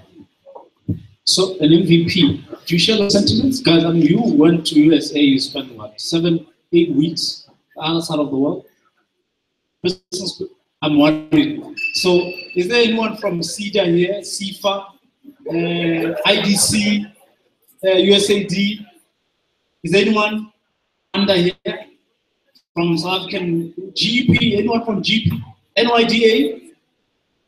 Okay, guys, please, can you tweet? Quote this man. He's saying you do not need a business plan. And take these people that I've mentioned and ask them if they agree. What do you guys think? I, I agree 100%. Um, I, I, I would probably even go a step further you probably don't even need probably don't even need any business education. I honestly think that the education system on this continent is rigged. Because you go into business and you want to go into business with a one plus one formula. And the one plus one formula in business actually doesn't work. Approach business with a straightjacket and business plan will probably put a straitjacket on your business Get out of the building and navigate your market for your product. Does your product make sense? Is it logical for you to go into that business? Who's going to buy it? Those are simple logical questions in the MBA or the business degree. So, yes, I agree. You don't need a business plan. Uh, the first thing I'll say is uh, for funding, so I will. I'll put my. No, but uh, you raised an important point. And um, for me, there's no single business plan or world product plan that survives first contact with the market. No matter which way you plan it, it's not going to survive first contact with the market. I think for me, the great business on this continent, uh, not the people with nice jackets. I think it's the mothers, right? It's the mothers who who took us to school selling magwenya, uh, selling blooms. I can't spend um, a month of mine the money that I make. Right? Um, my financial literacy skills are zero. But these guys have been doing it for 30 years. They've sent us to prestigious schools and everything. for the African person, I think we now need to start tapping into those uh, African sensibilities. That's what I call it. Right? And innovate around that. and create our own solution in our own market. We are not living in a modern market, we're living in a transitional economy, right? Because we are transitioning. We are called third world, and we are jumping to second world. We are, obviously, the transition is to all the first world. The greatest, I think, uh, disadvantage that we have is we're living in a global village. Where an iPhone 7 comes out in the UK and in the USA, you have it. But yet our infrastructure and our education system is still a global. So we're expected to compete at the first world level and the level. And we are graded and marked according to that level, right? And we, I don't know if it's foolishness, we want to compete at that level. We should be able to ground our own solution. A business plan is great, but it's outdated.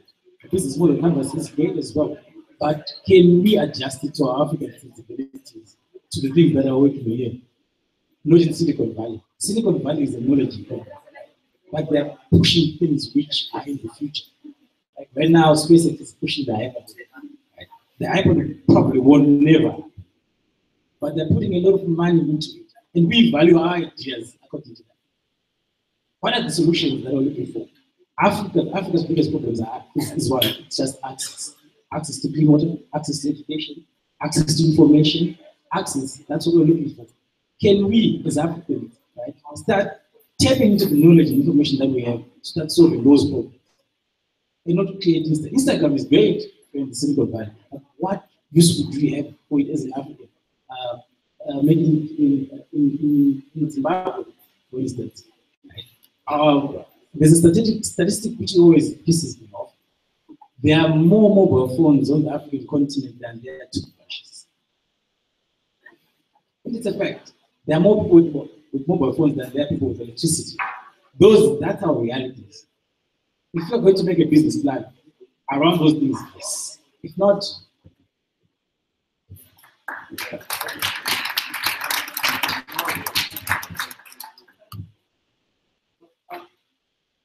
So there's a lot of that. Our education system is great. So we've been following the um, protests about the you know, language policy, health policy in South Africa, and uh, maybe uh, maybe it is great. I'm not sure if whether we're going to change it or you guys come with solutions around around that. Um, but I'm excited about what what Costa um, as I just mentioned now.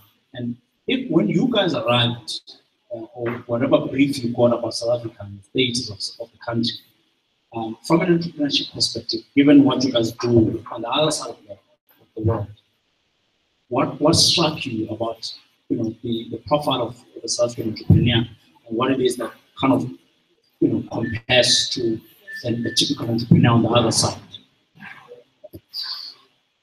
I think the first thing we noticed was how bad your traffic is from the airport into Joburg. and the reason why I say that is because in order to move products, you need good systems, whether it be road, whether it be rail, or whether it be air. And areas like Johannesburg obviously suffer because of the poor road system. Um, but believe it or not, there are many cities in the United Kingdom that have the same problem. So going back to what you said about entrepreneur, there are no real differences. An entrepreneur is an entrepreneur. Somebody, I mean, with an expression, an entrepreneur turns out into summer. And basically what that means in Yorkshire is that, you know, somebody will say you can't do it and then you go ahead and do it. Somebody will say you can't find funding for it and you and find funding for it.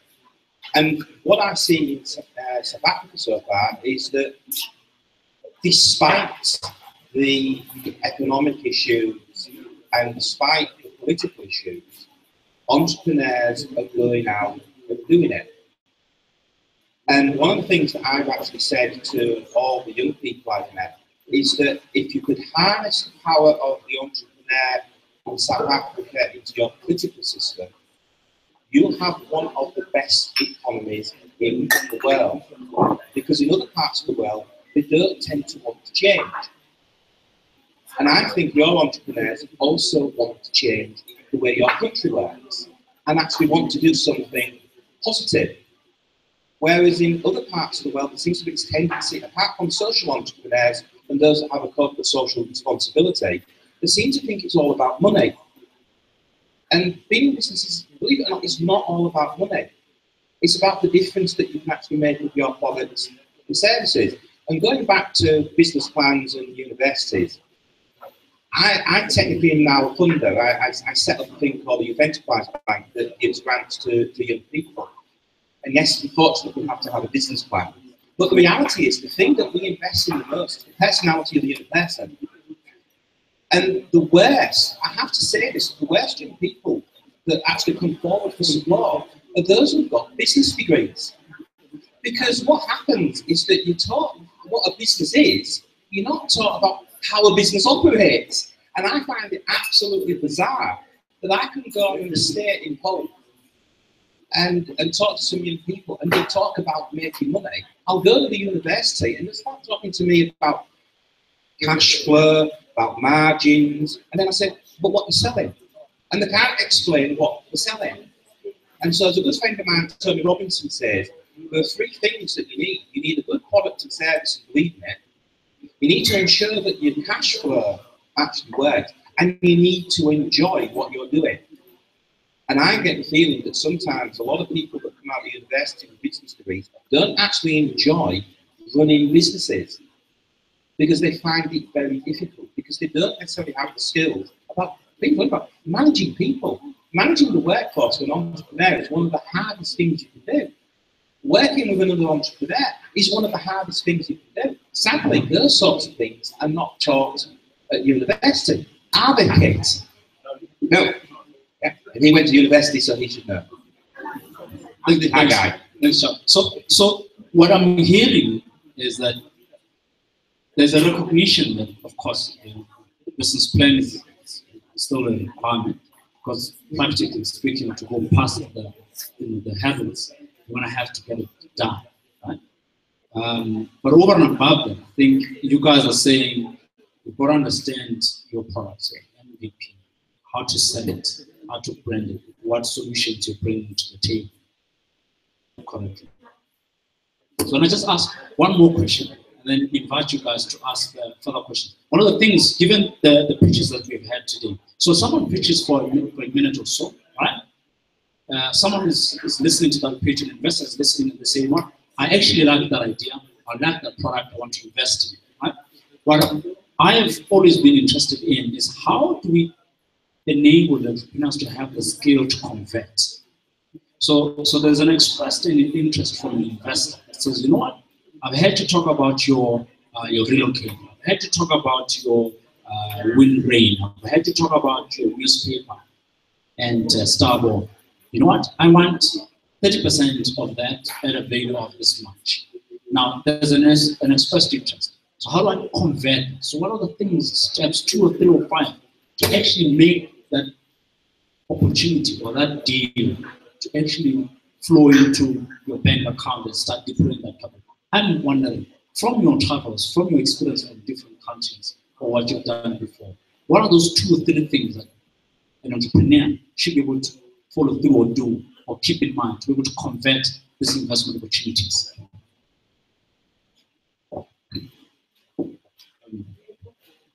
Very interesting question. And first and foremost, it's really important to stay focused.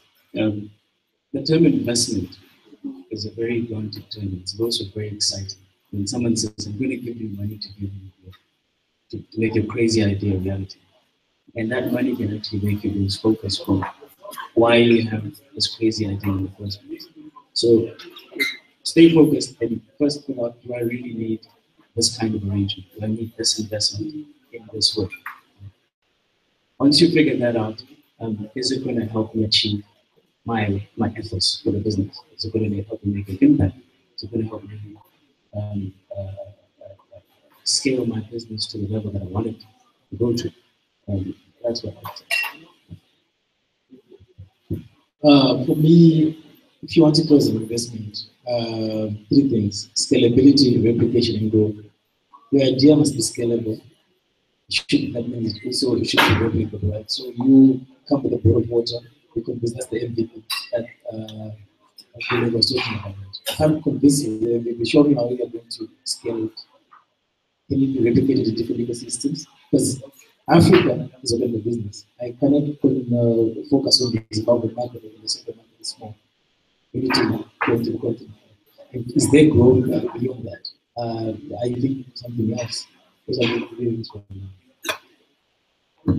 just from my side, I think a solid track record. So I'm, I'm individual, but not a solid track record how well you built your business you come in businesses or business ventures that you failed. Because that ability to fail and that ability to learn from the failing and in the ability to accelerate yourself as an individual. I mean, just to give you a little background, um, from, from where I'm from, now, is in the middle of nowhere, basically. Um, but in the space of two years, five venture uh, firms, are private high net worth individuals, because of that tax break, had to hold their funds simply because there were no bankable businesses within the ecosystem at the time. Now compare that juxtaposed to um, Johannesburg, where there's a huge investment community, and as well there's that good old escape town, right? That first world country, that world other country. Um, but then they've got their own sort system. So from an individual perspective, I would think the ability to have that experience and that experience failure and having tangible, tangible results from failure and employing it into a new business model altogether. Charles? Uh, it's very easy for me because that's what I do. Um, I need to believe that the person in front of me has belief in what they want to do. I need to believe that they know the numbers. So many times entrepreneurs come and make a pitch and they actually don't know the numbers. Uh, and actually, if you don't know the numbers, how on earth do you expect to make money? Um, so there's that.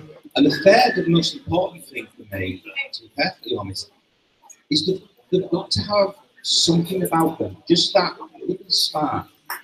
And the only thing I, and I'm sorry I keep going back because I was really impressed when we went to Alexandria. We went with, to talk to an organisation called This Kids that work with uh, primary school and secondary school kids. And I decided that those kids were going to have to pitch to me. We were there to listen to what they were doing. And I said, come on then, we're going to pitch. So there was this absolute look of horror on the kids' faces.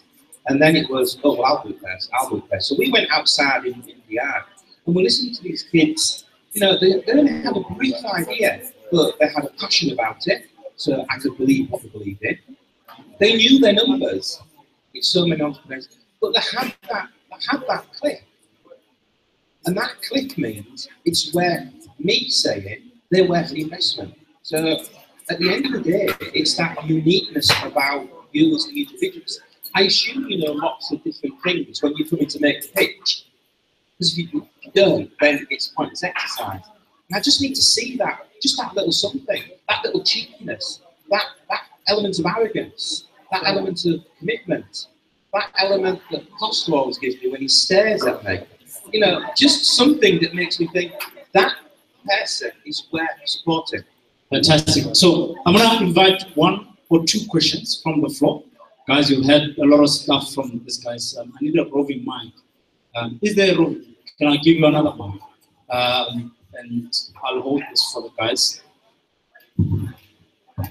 So please be brief, uh, concise, straight to the point. We don't want your history or your blood type. Uh, it's not a question, it's uh, something that I wanted to put as a challenge to, to tell like this guy.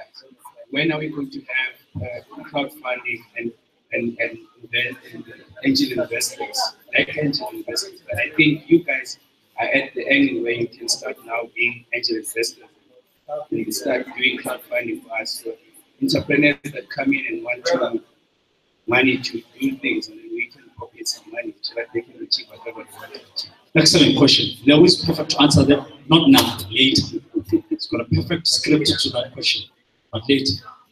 Hello, my name is Wanjide. Um, so I've been reading Capitalist Leader, and I've got a very random question. So I wrote it down. as Africans, are we in a position to refine our minerals and sell them to the rest of the world as opposed to the British, Spaniards, or the French, drilling through the African soil and taking the minerals, refining them, and selling them back to us? Um, what would that mean for the entrepreneurial spirit of Africa and for our economy? Okay, so that's Chika Onyeani there, the capital Senegal. So I need to find my, is that a question? Okay, so we need to make an exception. So we wanted two questions. This is the first lady of that, so we need to throw that question. Please go for it. Okay, so Charles uh, spoke a lot about entrepreneurs not knowing their numbers. Now, I want to um, just link that with you having said that education is rigged. What does unrigged education look like? What is it? Okay, cool. So, guys, who wants to take the Chika Onyeani question from Capital Senegal? Okay. So, I'm gonna Costa, you wanna, and um, the, the crowdfunding, you'll make a comment on it. Um, do you wanna make a comment on the Capital Senegal question? You don't mind? Okay. So, guys, please be brief. I think we can. And I think it's a conversation that we've been having for a long time. Uh, it depends on representation of the youth, right? I think it's time, like, if you look in my country right now, people get joining the street that's all good. I think it's time we start with legislation that handles that thing. Going into the street will not change it. We should be able to challenge the constitution that allows our government to mortgage our resources and our minerals to other people. That's where we should start. Um, I'll take a stab at. Uh, well, it's important to identify what the value chain is. Um, what are the different components in mining the diamond and getting it, getting it to Belgium it on. Uh, for entrepreneurs to identify those different um, cogs in the value chain uh, and taking taking advantage of those. Um, I'll, I'll make a very brief example. In this we have diamonds, but we also have water. Uh, we have entrepreneurs that are securing water and working water for export. Um, Lesotho has one of the highest qualities of water, um, rivaled only by French water. But for the longest time, the Coca-Colas and. Uh, but we saw that as an opportunity. We said, let's put this ourselves. It's, it's difficult because it requires a lot of investment, which often not comes from foreign companies. But you just have to start small and identify the, the and benefits. Okay, so in terms of one of the in the crowdfunding, um, I think it speaks to disposable coming into the economic system. So just a basic question: If someone on the road to ask you to give them five grand, would you give them five grand? Sorry, can we get the guys at the back to kind of keep quiet? We've still got an event. And if you can't, please leave because you're being very rude. Thank you. So just going back to that question, if someone came to you and said, "Now, these are five grand. I want to buy a of bread." How often do you give it to them? Not as much. Not as much. That's why I was saying I'm putting a challenge to the. Yes. Can can't you become that platform to say now, can we start that uh, crowdfunding platform? And then you you know entrepreneurs, you know how to identify as we have been speaking about, they know their numbers, they know their plan, and Definitely. you you now start to say, can we invest in that? Definitely. And what then you're now addressing is a cultural shift, a cultural mindset in terms of how much, um, how many more entrepreneurs are we engaging on platforms like the Hookup. And with all, we do not realize that you're actually at the crowdsourcing platform right now.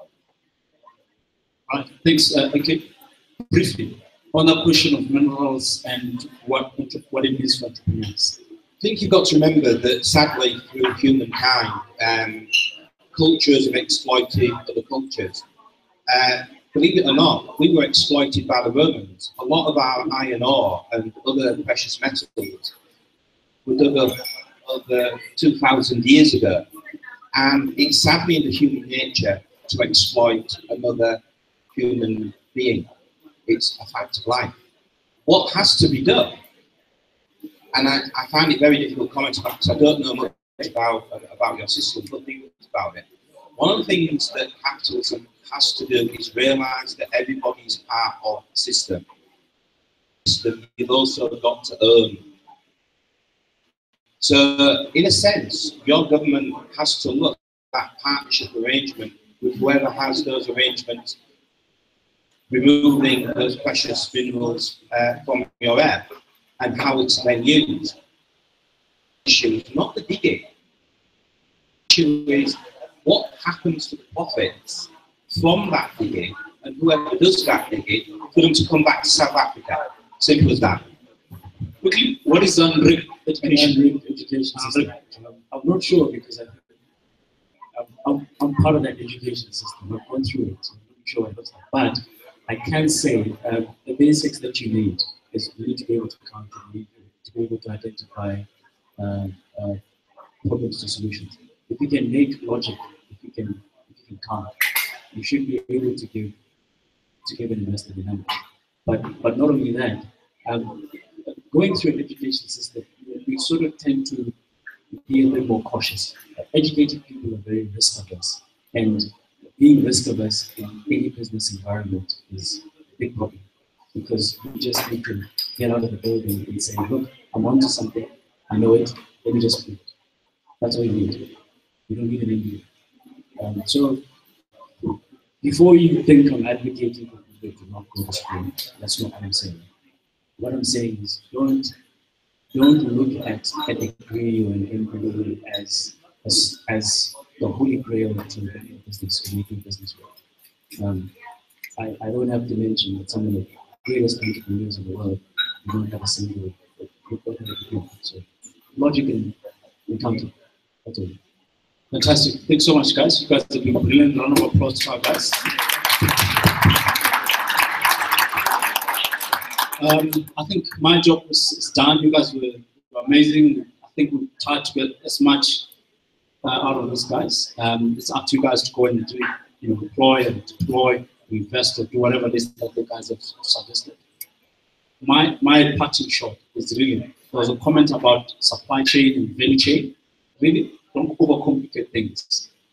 Just identify a niche in the value chain, stick to that, stand to that value. It's a line, and then pass whatever needs to be passed. That's it. That's really what, what it is. Really, we're all in an ecosystem, ecosystem, and pass the food and forget about other things. Other people will worry about it. Thank you so much, guys. Thanks so much to, to the panel. Can you give them a round of applause again, guys? Well done.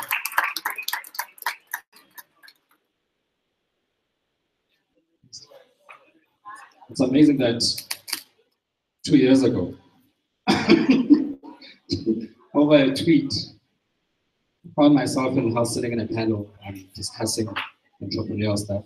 And two years later, you're sitting in Johannesburg engaging. And it's more than that. We've launched a partnership with Hull City as the hookup dinner. And it's an exciting one. A really, really, really exciting one. Do you want to tell them a bit about what, what you do with the Youth Enterprise Bank, Charles? First of all, I want to know what are these sheep doing here? oh, right. Um, basically, what we're hoping to do, we, we've been developing a lot of curriculum materials for teachers to work with youngsters in, in schools around a program called Five Pound Blossom. We're a business, so people like yourselves will learn a group of school children 30, 150 pounds, which kitting vans is 150 pounds, 3,000 rands over a three month period. And those youngsters, and the most important thing is that they learn a thing called effective enterprise skills, which can't always remember each one. But basically, it's all about them learning from you what you do. So they become your future competitors, even, but also your potential future partners. At the end of the, the three month period, they decide what happens to the profits. For instance, in, in England at the moment, we're running a, a program where half of the profits are going to a particular charity and half of the profits are, are going to the school. But it's the youngsters that make decisions. It's about empowerment. Curriculum materials we made available um, to hook up dinner. I said earlier, met up with uh, BizKids and we decided that we want to work with them as well. Originally, we said we'd invest £250, which is how much? 250 yeah. Uh, so anyhow, we've now decided that we're going to increase that to five hundred pounds, simply because of what of what they do, but also as part of the process. And it's not about money. Trust me, this isn't about money. Is that in November, those youngsters, as part of Global Entrepreneurship, will be telling us some of the things that they've done. We'll also be supporting the hookup dinner, maybe with some of our colleagues and teachers coming over in the future to teach some of those enterprise skills. But more importantly, I want people from the hookup dinner and entrepreneurs involved with it to come over to Hull, to come and talk to some of our young people in our schools about some of the difficulties you've had to actually overcome. Because at the moment, there's this fear in, in England that if we go along and say we can do this, you can do that, they say, oh yeah, yeah, yeah, I bet that. But actually, if uh, businesses are coming over from South Africa and saying, look, we've had all these issues over these years, we can do it, you can do it. Um, the other thing that actually the young people made a decision this afternoon, because we were sort of communicating with our chair, is that we're going to change our Let's Talk Business, which is a group of, of young entrepreneurs. And we haven't asked your permission yet, but we're going to call it Hook Up Dinner Hub. Um, and simply because that informality about the Hook Up Dinner is the way, it's, it's the way forward. So you've actually got Hook Up Dinner Hub. So you've left, you've left Africa now, uh, you're now you're, you're now in Hull, and we'll, we'll, we'll promote that. At the end of the day, I don't know if this partnership will work, but the one thing that all entrepreneurs have to do is they have to take a risk. So we took a risk in actually coming over here. You took a risk coming to see us. You stayed in one of the strangest hotels in Hull, but that's a, a, another story. Um, you know, I've learned how to be very patient in your traffic and not sing songs at some of your taxi drivers because I'm very impatient about them sort of giving their horns all the time. But at the end of the day, I've enjoyed it and I want South Africans to enjoy Hull. I want Hull kids to enjoy South Africa. So that's what it's about. Hopefully in 10 years' time, you know, I'll be in mid 60s and I'll be coming over and I'll, I'll, I'll be seeing some of those kids that we see today in future when we come over and they'll be on these panels. Um, and similarly, young people, whether it be from Lesotho, Swaziland, Zimbabwe, Egypt, it doesn't really matter. It's about young people being our futures, and you've got the responsibility to empower them. So that's why I'm hoping that as entrepreneurs, yes, you'll earn any money, but you'll also help hook up dinner the work we're going to be doing in schools along with kids. Um, thanks, Charles. Um, Theo, I'm going to give you exactly 180 seconds. So he's going to share what the Dutch embassy uh, also launched a partnership with them. There's something coming up which is pretty exciting for the entrepreneurial community. Please time timing. Are you timing? It, it does get carried away. Um, not yet. Just wait a minute. This is not in the 180 seconds. So, hello everybody. Um, I'm Theodore. I'm from the Netherlands Embassy, and I joined the embassy one and a half year ago, and I was asked to do something with entrepreneurship. So I did a research to understand the ecosystem. And then during the visit of our prime minister, we launched something called the Orange Corners. What is Orange Corners? Orange Corners is an initiative in collaboration with existing incubators. So we collaborate with Open, we collaborate with Wits University, in University of the Tshimologong Precinct, and in Diepsloot at the Joseph Business Hub there. What we do is we subsidize 15 entrepreneurs for a year. So we take them through a process. You get training, mentorship, and different entrepreneurship related courses so that you can go from step A to step Z. In that, we're not alone. Apart from hopefully a long-term relationship with the Hookup Dinner, we're collaborating with Shell, Heineken, Hookup, um, the Royal Haskoning that are here, Vopak, hopefully Unilever, Philips, other companies.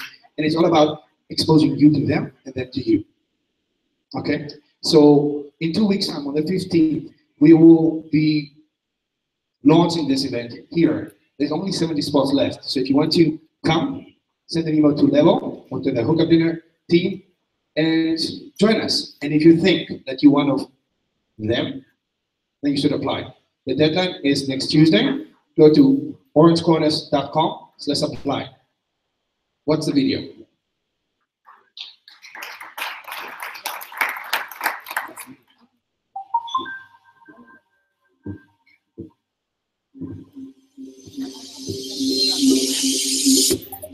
It's in your nature to create to explore opportunities, and break the barriers of what's possible. You're the builders of solutions that disrupt our futures and transform our world. This is your calling, your responsibility. You're the influencer redefining convention, and we're the business helping you forge that path.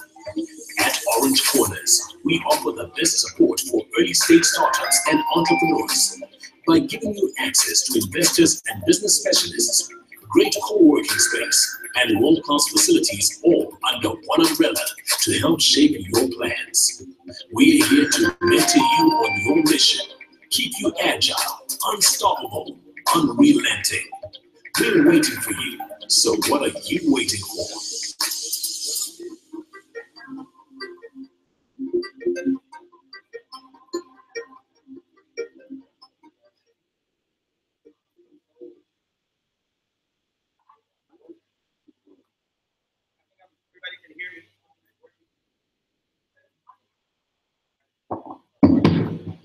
So,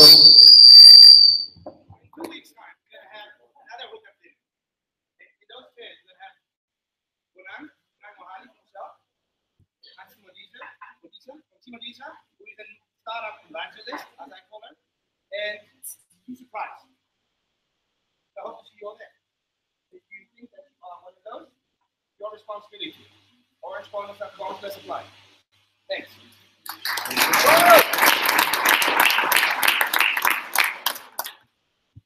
Thanks, Theo.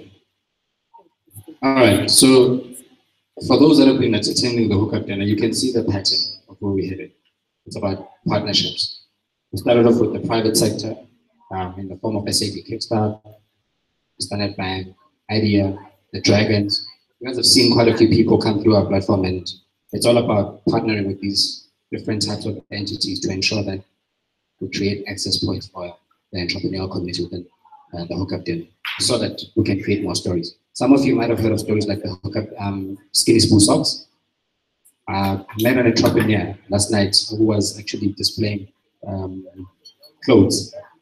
And he was very excited to meet me and he said, I want to meet Skinny Sbu, can you give me his number? And I said, look, speak to Patrick and when you come up to Joburg, we'll arrange and you get to meet him. It's just the way we don't realize the impact that is going out there with the little that we are doing, with the little that we have. It's, it's quite something for, an, for a community of entrepreneurs to get together for a common vision. So make sure that you jump in. There's multiple programs that are coming up, and all that we're just asking you is if you know of somebody, if you know an entrepreneur out there, if you know somebody with ideas, somebody that's looking to start but they're afraid, they don't know where to go, this is the platform. This is the network. We care. Four years later, we're still here. We're not owned by any entity. We're not owned by corporate. We're not owned by government. We've been doing it ourselves. Anybody that partners with us, they pay. And therefore, we own ourselves, and it's very important for us. We don't stand there and say we don't we don't, we don't sing we don't sing praises for corporate. We don't sing praises for anybody. We sing praises for entrepreneurs. If, you, if you're a corporate and you get into our network, it's because you add value, and we see it, we live it, we speak it on a daily basis, and we're hoping that we can do more of that as long as you guys are, are coming along for the journey. On the platform, over 10 million rand has been invested over the past four years. A very small amount of money when you start converting into dollars cost, huh? but it's a lot of money for us. Over $10 million, I mean over 10 million rands, um, over 10,000 pitches that have taken place on this platform. Imagine this little platform, more people standing up, sharing their ideas, getting um, feedback from the community and doing something about that because they see that somebody believes in what they have to say.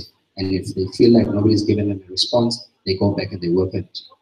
Us in the background, what you see is the networking event that takes place once a month. What happens in the engine on the background is that we work hard. We've got a THUD Academy. We train entrepreneurs. We take them through pitch training uh, courses. We take them through all sorts of uh, readiness to ensure that when they stand in front of investors, they're ready. That is our job. Why? Because we produce entrepreneurs, we manufacture them, and we sell them. That's how we make a living. If you're an entrepreneur and you're looking for assistance, get in touch with us. It's not simple. Get in touch with us. Everybody's approaching us because they're looking for you. Corporates are coming to us and saying, I'm looking for this type of pipeline. I'm looking for entrepreneurs in the fintech space, or I'm looking for entrepreneurs that are in the manufacturing space. It's our job to look for you, to find you, to prepare you, and to present you. And once you've presented, once a transaction takes place, we take a fee from that. So it's in our interest to produce more of the Skinny Sbus of this world, of the lazy makotis of this world, of the shouting motors of this world, of the mashes of this world. There's a lot of entrepreneurs that are benefiting from this platform. So don't take it for granted. There's a lot that's taking place here. All right. You guys voted for tonight. You voted for a winner. Funny enough, it's somebody that um, decided to volunteer. Kabel, are you here? Stand up, huh? So here, right. Uh, where's Peggy's? Where's Peggy's? Show up, Papa. and the reason when I make these type of decisions, I, I need Peggy so around because He's money man. he's the money man, you know, like besides the checks, he's the one who cries if the bank account goes dry. So, you know, there's, some, there's a little experiment that we've been doing over the few months, and we're going to continue with it because we think it's working. And it, it feeds into what we're launching pretty soon. Um, we're currently having a discussion at a SADC level um, with a couple of the entrepreneurs within the, the, the SADC region. By SADC, we mean um, the countries that are in the African, in the south of, of um, uh, Africa. So we're speaking of Lesotho, Botswana, Namibia, Zimbabwe, Zambia, and all the way to, to Mozambique. We're launching something between the lines of a credit union, a youth enterprise bank, and a cooperative bank. Something, there's a mix. We're still trying to find something that, that, that, that speaks to us. And, you know, and the, the simple reason why we're doing it is because we want to find our home. And we want to make it easy. We want to drive the cost of doing business down all the way. You know what I mean? Like people like it stresses me. Like it's, it's a problem. And second, you want to make sure that when you travel across borders, we, we do it on a monthly basis. I mean, I get really excited getting out of the country and, going to see new people and to see what other ecosystems are doing. We want to make sure that when somebody lands here in Joburg or coming from Maseru or coming from Zimbabwe, it's a, it's a, it's a landing pattern, it's very easy and doesn't cost them as much. I want to land in Nairobi and call up somebody from the hip-hop dinner. Oh, and you know what I mean? Like we've got Jeff in Nairobi. When I when I get in Nairobi, I don't pay much. We want to increase that network. We want more and more people to do that. When I land in, when I land in Harare, I don't pay. Costa takes care of me. When Costa lands in Joburg, he doesn't pay anything. My wife cooks. You know what I mean? That's what it's about. We're a community. So we're trying to make sure that we drive more of that agenda. And part of that speaks to funding. It's what it's the feedback that we're getting from the surveys that are coming out that entrepreneurs keep on complaining about funding. Yeah. So you've selected him as a winner. Uh, I'm going to commit 500 bucks. So how much are you committing? Oh, you'll match it. Oh, cool. Who's that? Who else is jumping on? Yeah. Sorry. Two thousand rand. Boom. Uh, Lodi, please take details. Yeah, Patrick. One thousand rand. So that's three thousand. That's two thousand plus one thousand plus one thousand. That's four thousand rand so far. Who else is funding this entrepreneur? And he's from Nairobi with 2,000 Rand. You gotta recognize. Jeff, 2,000 Rand right there in Nairobi, bro. Who else is jumping in? We've got to find our own. Let's stop saying great idea. Who cares? Yes, sir. 100 Rand. So that's 4,100 Rand in the bank. Let's see what he's to do with it. Anybody else? Yes, sir. 200 Rand. So that's what? 300? That's 4,000. Lodi, please collect the details. Can you keep, can you get your hands up and can I get the team collecting the names and the contact details? Let's take care of it. We need to hold them accountable. All the entrepreneurs that we funded as a we funded as a community, we're holding them accountable. That's what we do. And what that does is that when we present them back here and they say, you know, that 2,000 rand that you invested in me, look at how far it's taken. That's what it's about. We don't know where this is going to take us, but in the future, it's going to turn into something else. Yes. How much do you want, bro? It's a good question. Hey!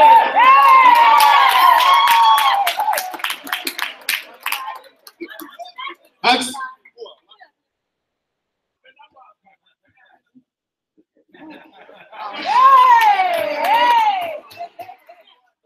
Hey! Um, if you don't know, it's okay to say, I don't know. 27.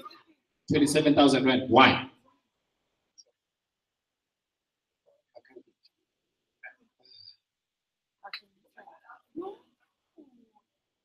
to invest back into the business. It's so many things. Mention three things. I'm just, I'm just waiting to explain. What's the business again? Plus, it's plus news. Plus news.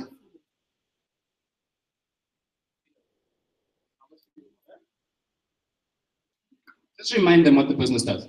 Okay, Plus News, it's a newspaper publication that writes only about positive news. You know, I love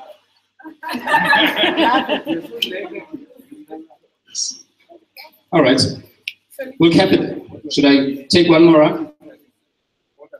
We need hands for the ones who actually. Can the people that said they're gonna put money in put your, put their hands up? Hagiso, put your hand up. You said you're gonna put money in. Offense, show you show yourself. Oh, you here. Just making sure. There was somebody else with 200 bucks. Who was it?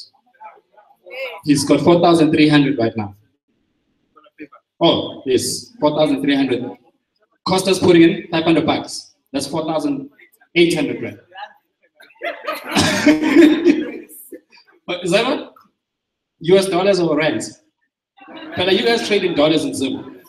Come, guy. 500 rand. Okay, so that's 4,800. Can we, yes? 1,000. So husband said 1,000, wife said 1,000, that's 2,000 eh? from one family. Can you believe it? So that's what? 5,800. You said you wanted 27,000. We're going to hold you accountable. Anybody else? I'm closing this up. We've got to go. Anybody else? We're capping it here. Of course we put you. Our lady over there is collecting your next. Yes, TV? You're putting in 200 bucks. Hold on, hold on. I want to hear you. CD saying she's putting 200 rand in. So how much is that? That's 6,000. Yes, Theo? Talk to me.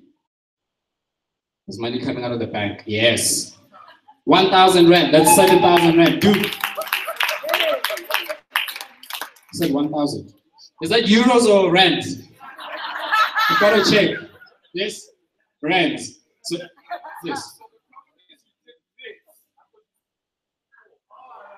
Yeah? 200 rand. So is that 7,200? Am I correct? And another one there. Make sure you collect the details. Dude, we're gonna hold you accountable. You're recording it, guys? Huh? Huh? Huh? If he scams us. Has.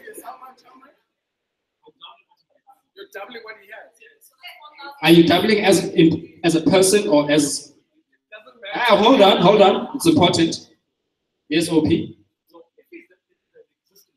Yes. How long? They've been existing for a month. How long have you been registered? Six months. Okay, so the startup. Yeah.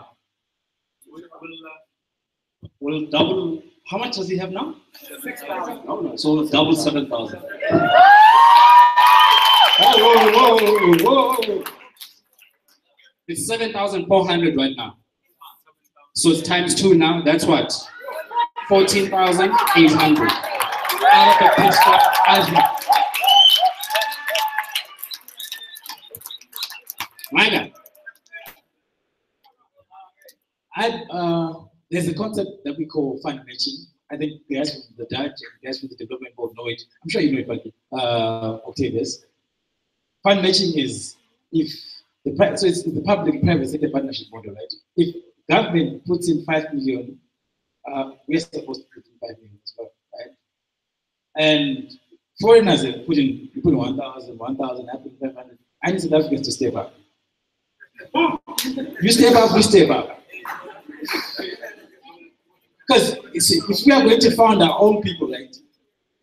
Crowdfunding states that 30% of the money that you should pay from it has to come from your own people.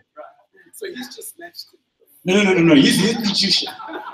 He's the institution, right? He's the holy grail of money. How much is it? Yes, how much? Uh, How much is short? uh, 40,000 from 27,000. The brilliant one. How, how much money is, is short? 13. 13, sir. 13,000 is short. You got it.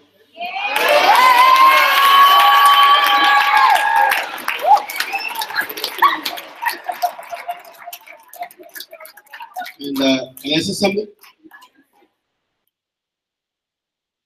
Just go to www.sizacapital.org. So Siza Capital is a microfinance institution. We provide funding to uh, entrepreneurs that for one reason or the other, they, they can't work with banks. So it's Siza, S-I-Z-A, capital for money, dot org. You, boy. And we're gonna watch you. But he must, he must promise one thing, eh? At least three jobs created.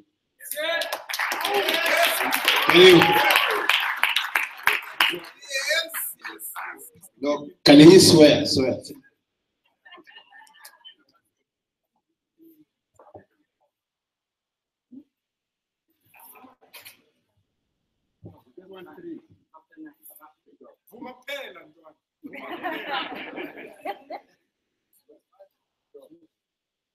I'm gonna do more than three.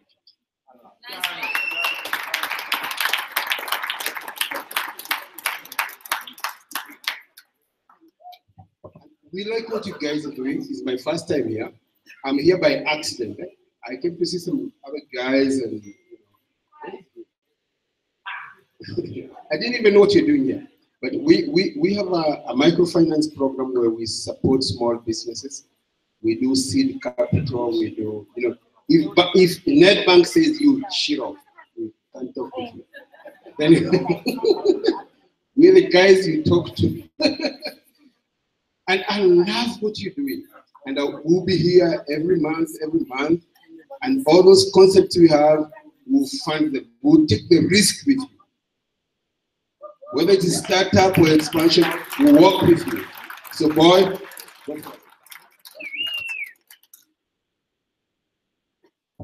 Really appreciate that, guys. I think it's our best hookup dinner yet. The sky's the limit. We know. We. And we're happy.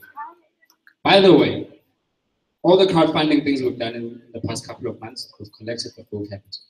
So now we owe people a report, and we're going to produce the report next month. Right? Can take a seat. Well done. I like you, bro. We are watching. Be scared. yeah? Okay.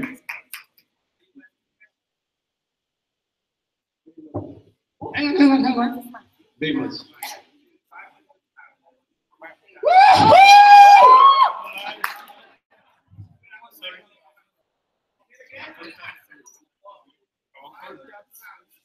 Yes, the lady that came to you and took your contacts now. No, When are you leaving? That lady. Baby, you are cooking tomorrow.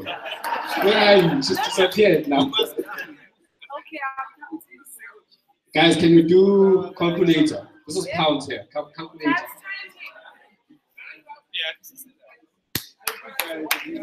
Say that again.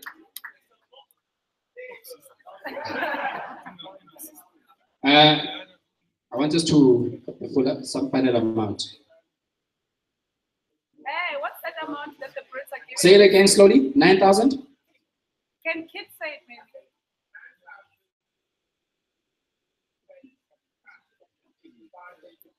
9,636 rand. So add that to the 27,000.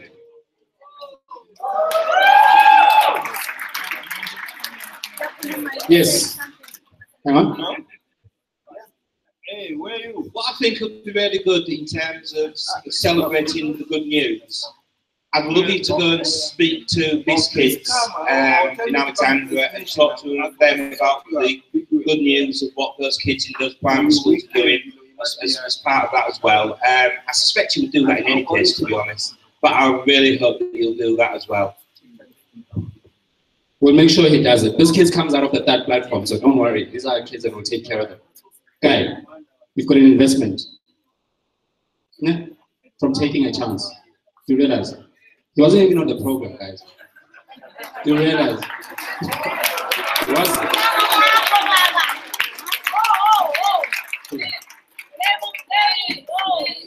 Oh, good, good. So, no, I'm, I'm just confused. So I, I, I often, I don't know when it, you know, Costa was explaining. So usually, so if I went uh, first and then there's the, the bottom figure continues to increase, then I don't know where that throws me my double. Because my double offer is the last figure that he has to double it. So I don't know whether that, hey guy, I know, I know. Shoni, final figure? Ah, Shoni. Choose. 36,500 when talk to us, OP. But that includes my, my That includes your double. So you need to reduce my initial double. So we're gonna minus to 7,500. So minus my No, don't worry, we've got a banker here. 29,000 rand. So what do we get?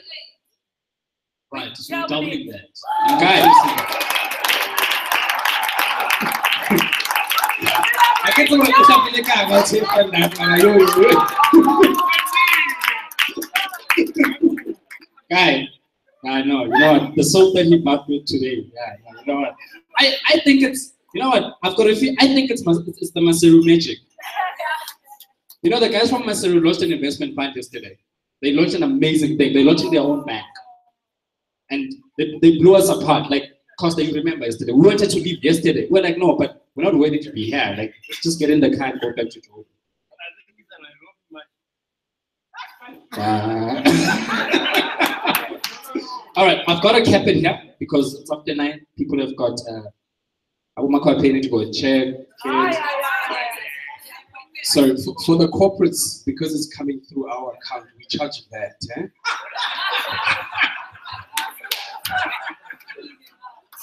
Yeah, that's making so for you guys. He keeps us in business and it's amazing. Guys, would really, really like to thank you. And it's humbling. It's humbling purely because I said this in, in Maseru last night that had I held this idea to myself, the first time I thought about it, we wouldn't have this. We wouldn't have it thriving the way that it does. And it simply says if you are trying to own your idea, you're not going to go far. But if you push it out, you contribute, if you, if you push it out into the community and, and try and impact as much people as possible, it, it always comes back to you, whether you like it or not. It's just the way that nature works. And you let it go, it comes back to you. Three, four, ten, four, whatever. And it's just about contributing to, to the collective. We are seeing other people are contributing to us. We are contribu- contributing to entrepreneurs. Everybody's winning within this within the circle. Let's spread that circle and let's try and make it real. And let's try and impact more and create more entrepreneurs in the process. Thank you. Somebody who lost a, a Huawei phone. I used to call it Huawei. I got it. Huawei phone. Somebody lost it. Oh, it's yours. All right. If you lost a Huawei phone, massive one, come to us. And thank you. Please tell a friend. Um, and we'd like to thank you and close it here. Have fun, network some more. But we are closing the venue at Maggie. We're closing the venue at 11. What time is it now? It's 20 to 10. We're closing the venue in 40 minutes. So you've got 40 minutes to network more, and then we shut it down. So thank you guys. Do have fun. If you're looking for food, there's still food at the back. Take care. God bless. Thank you.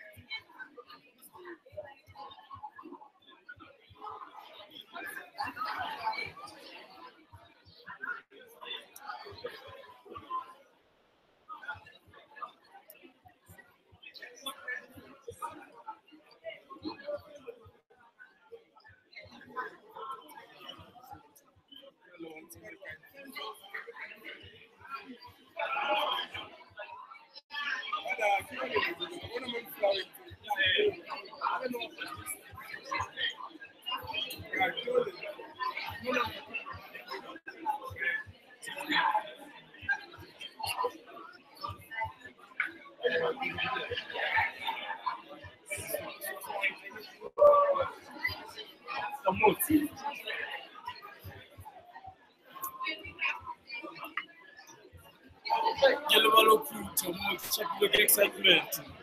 Ah, I today the next exciting. Different. The last leg.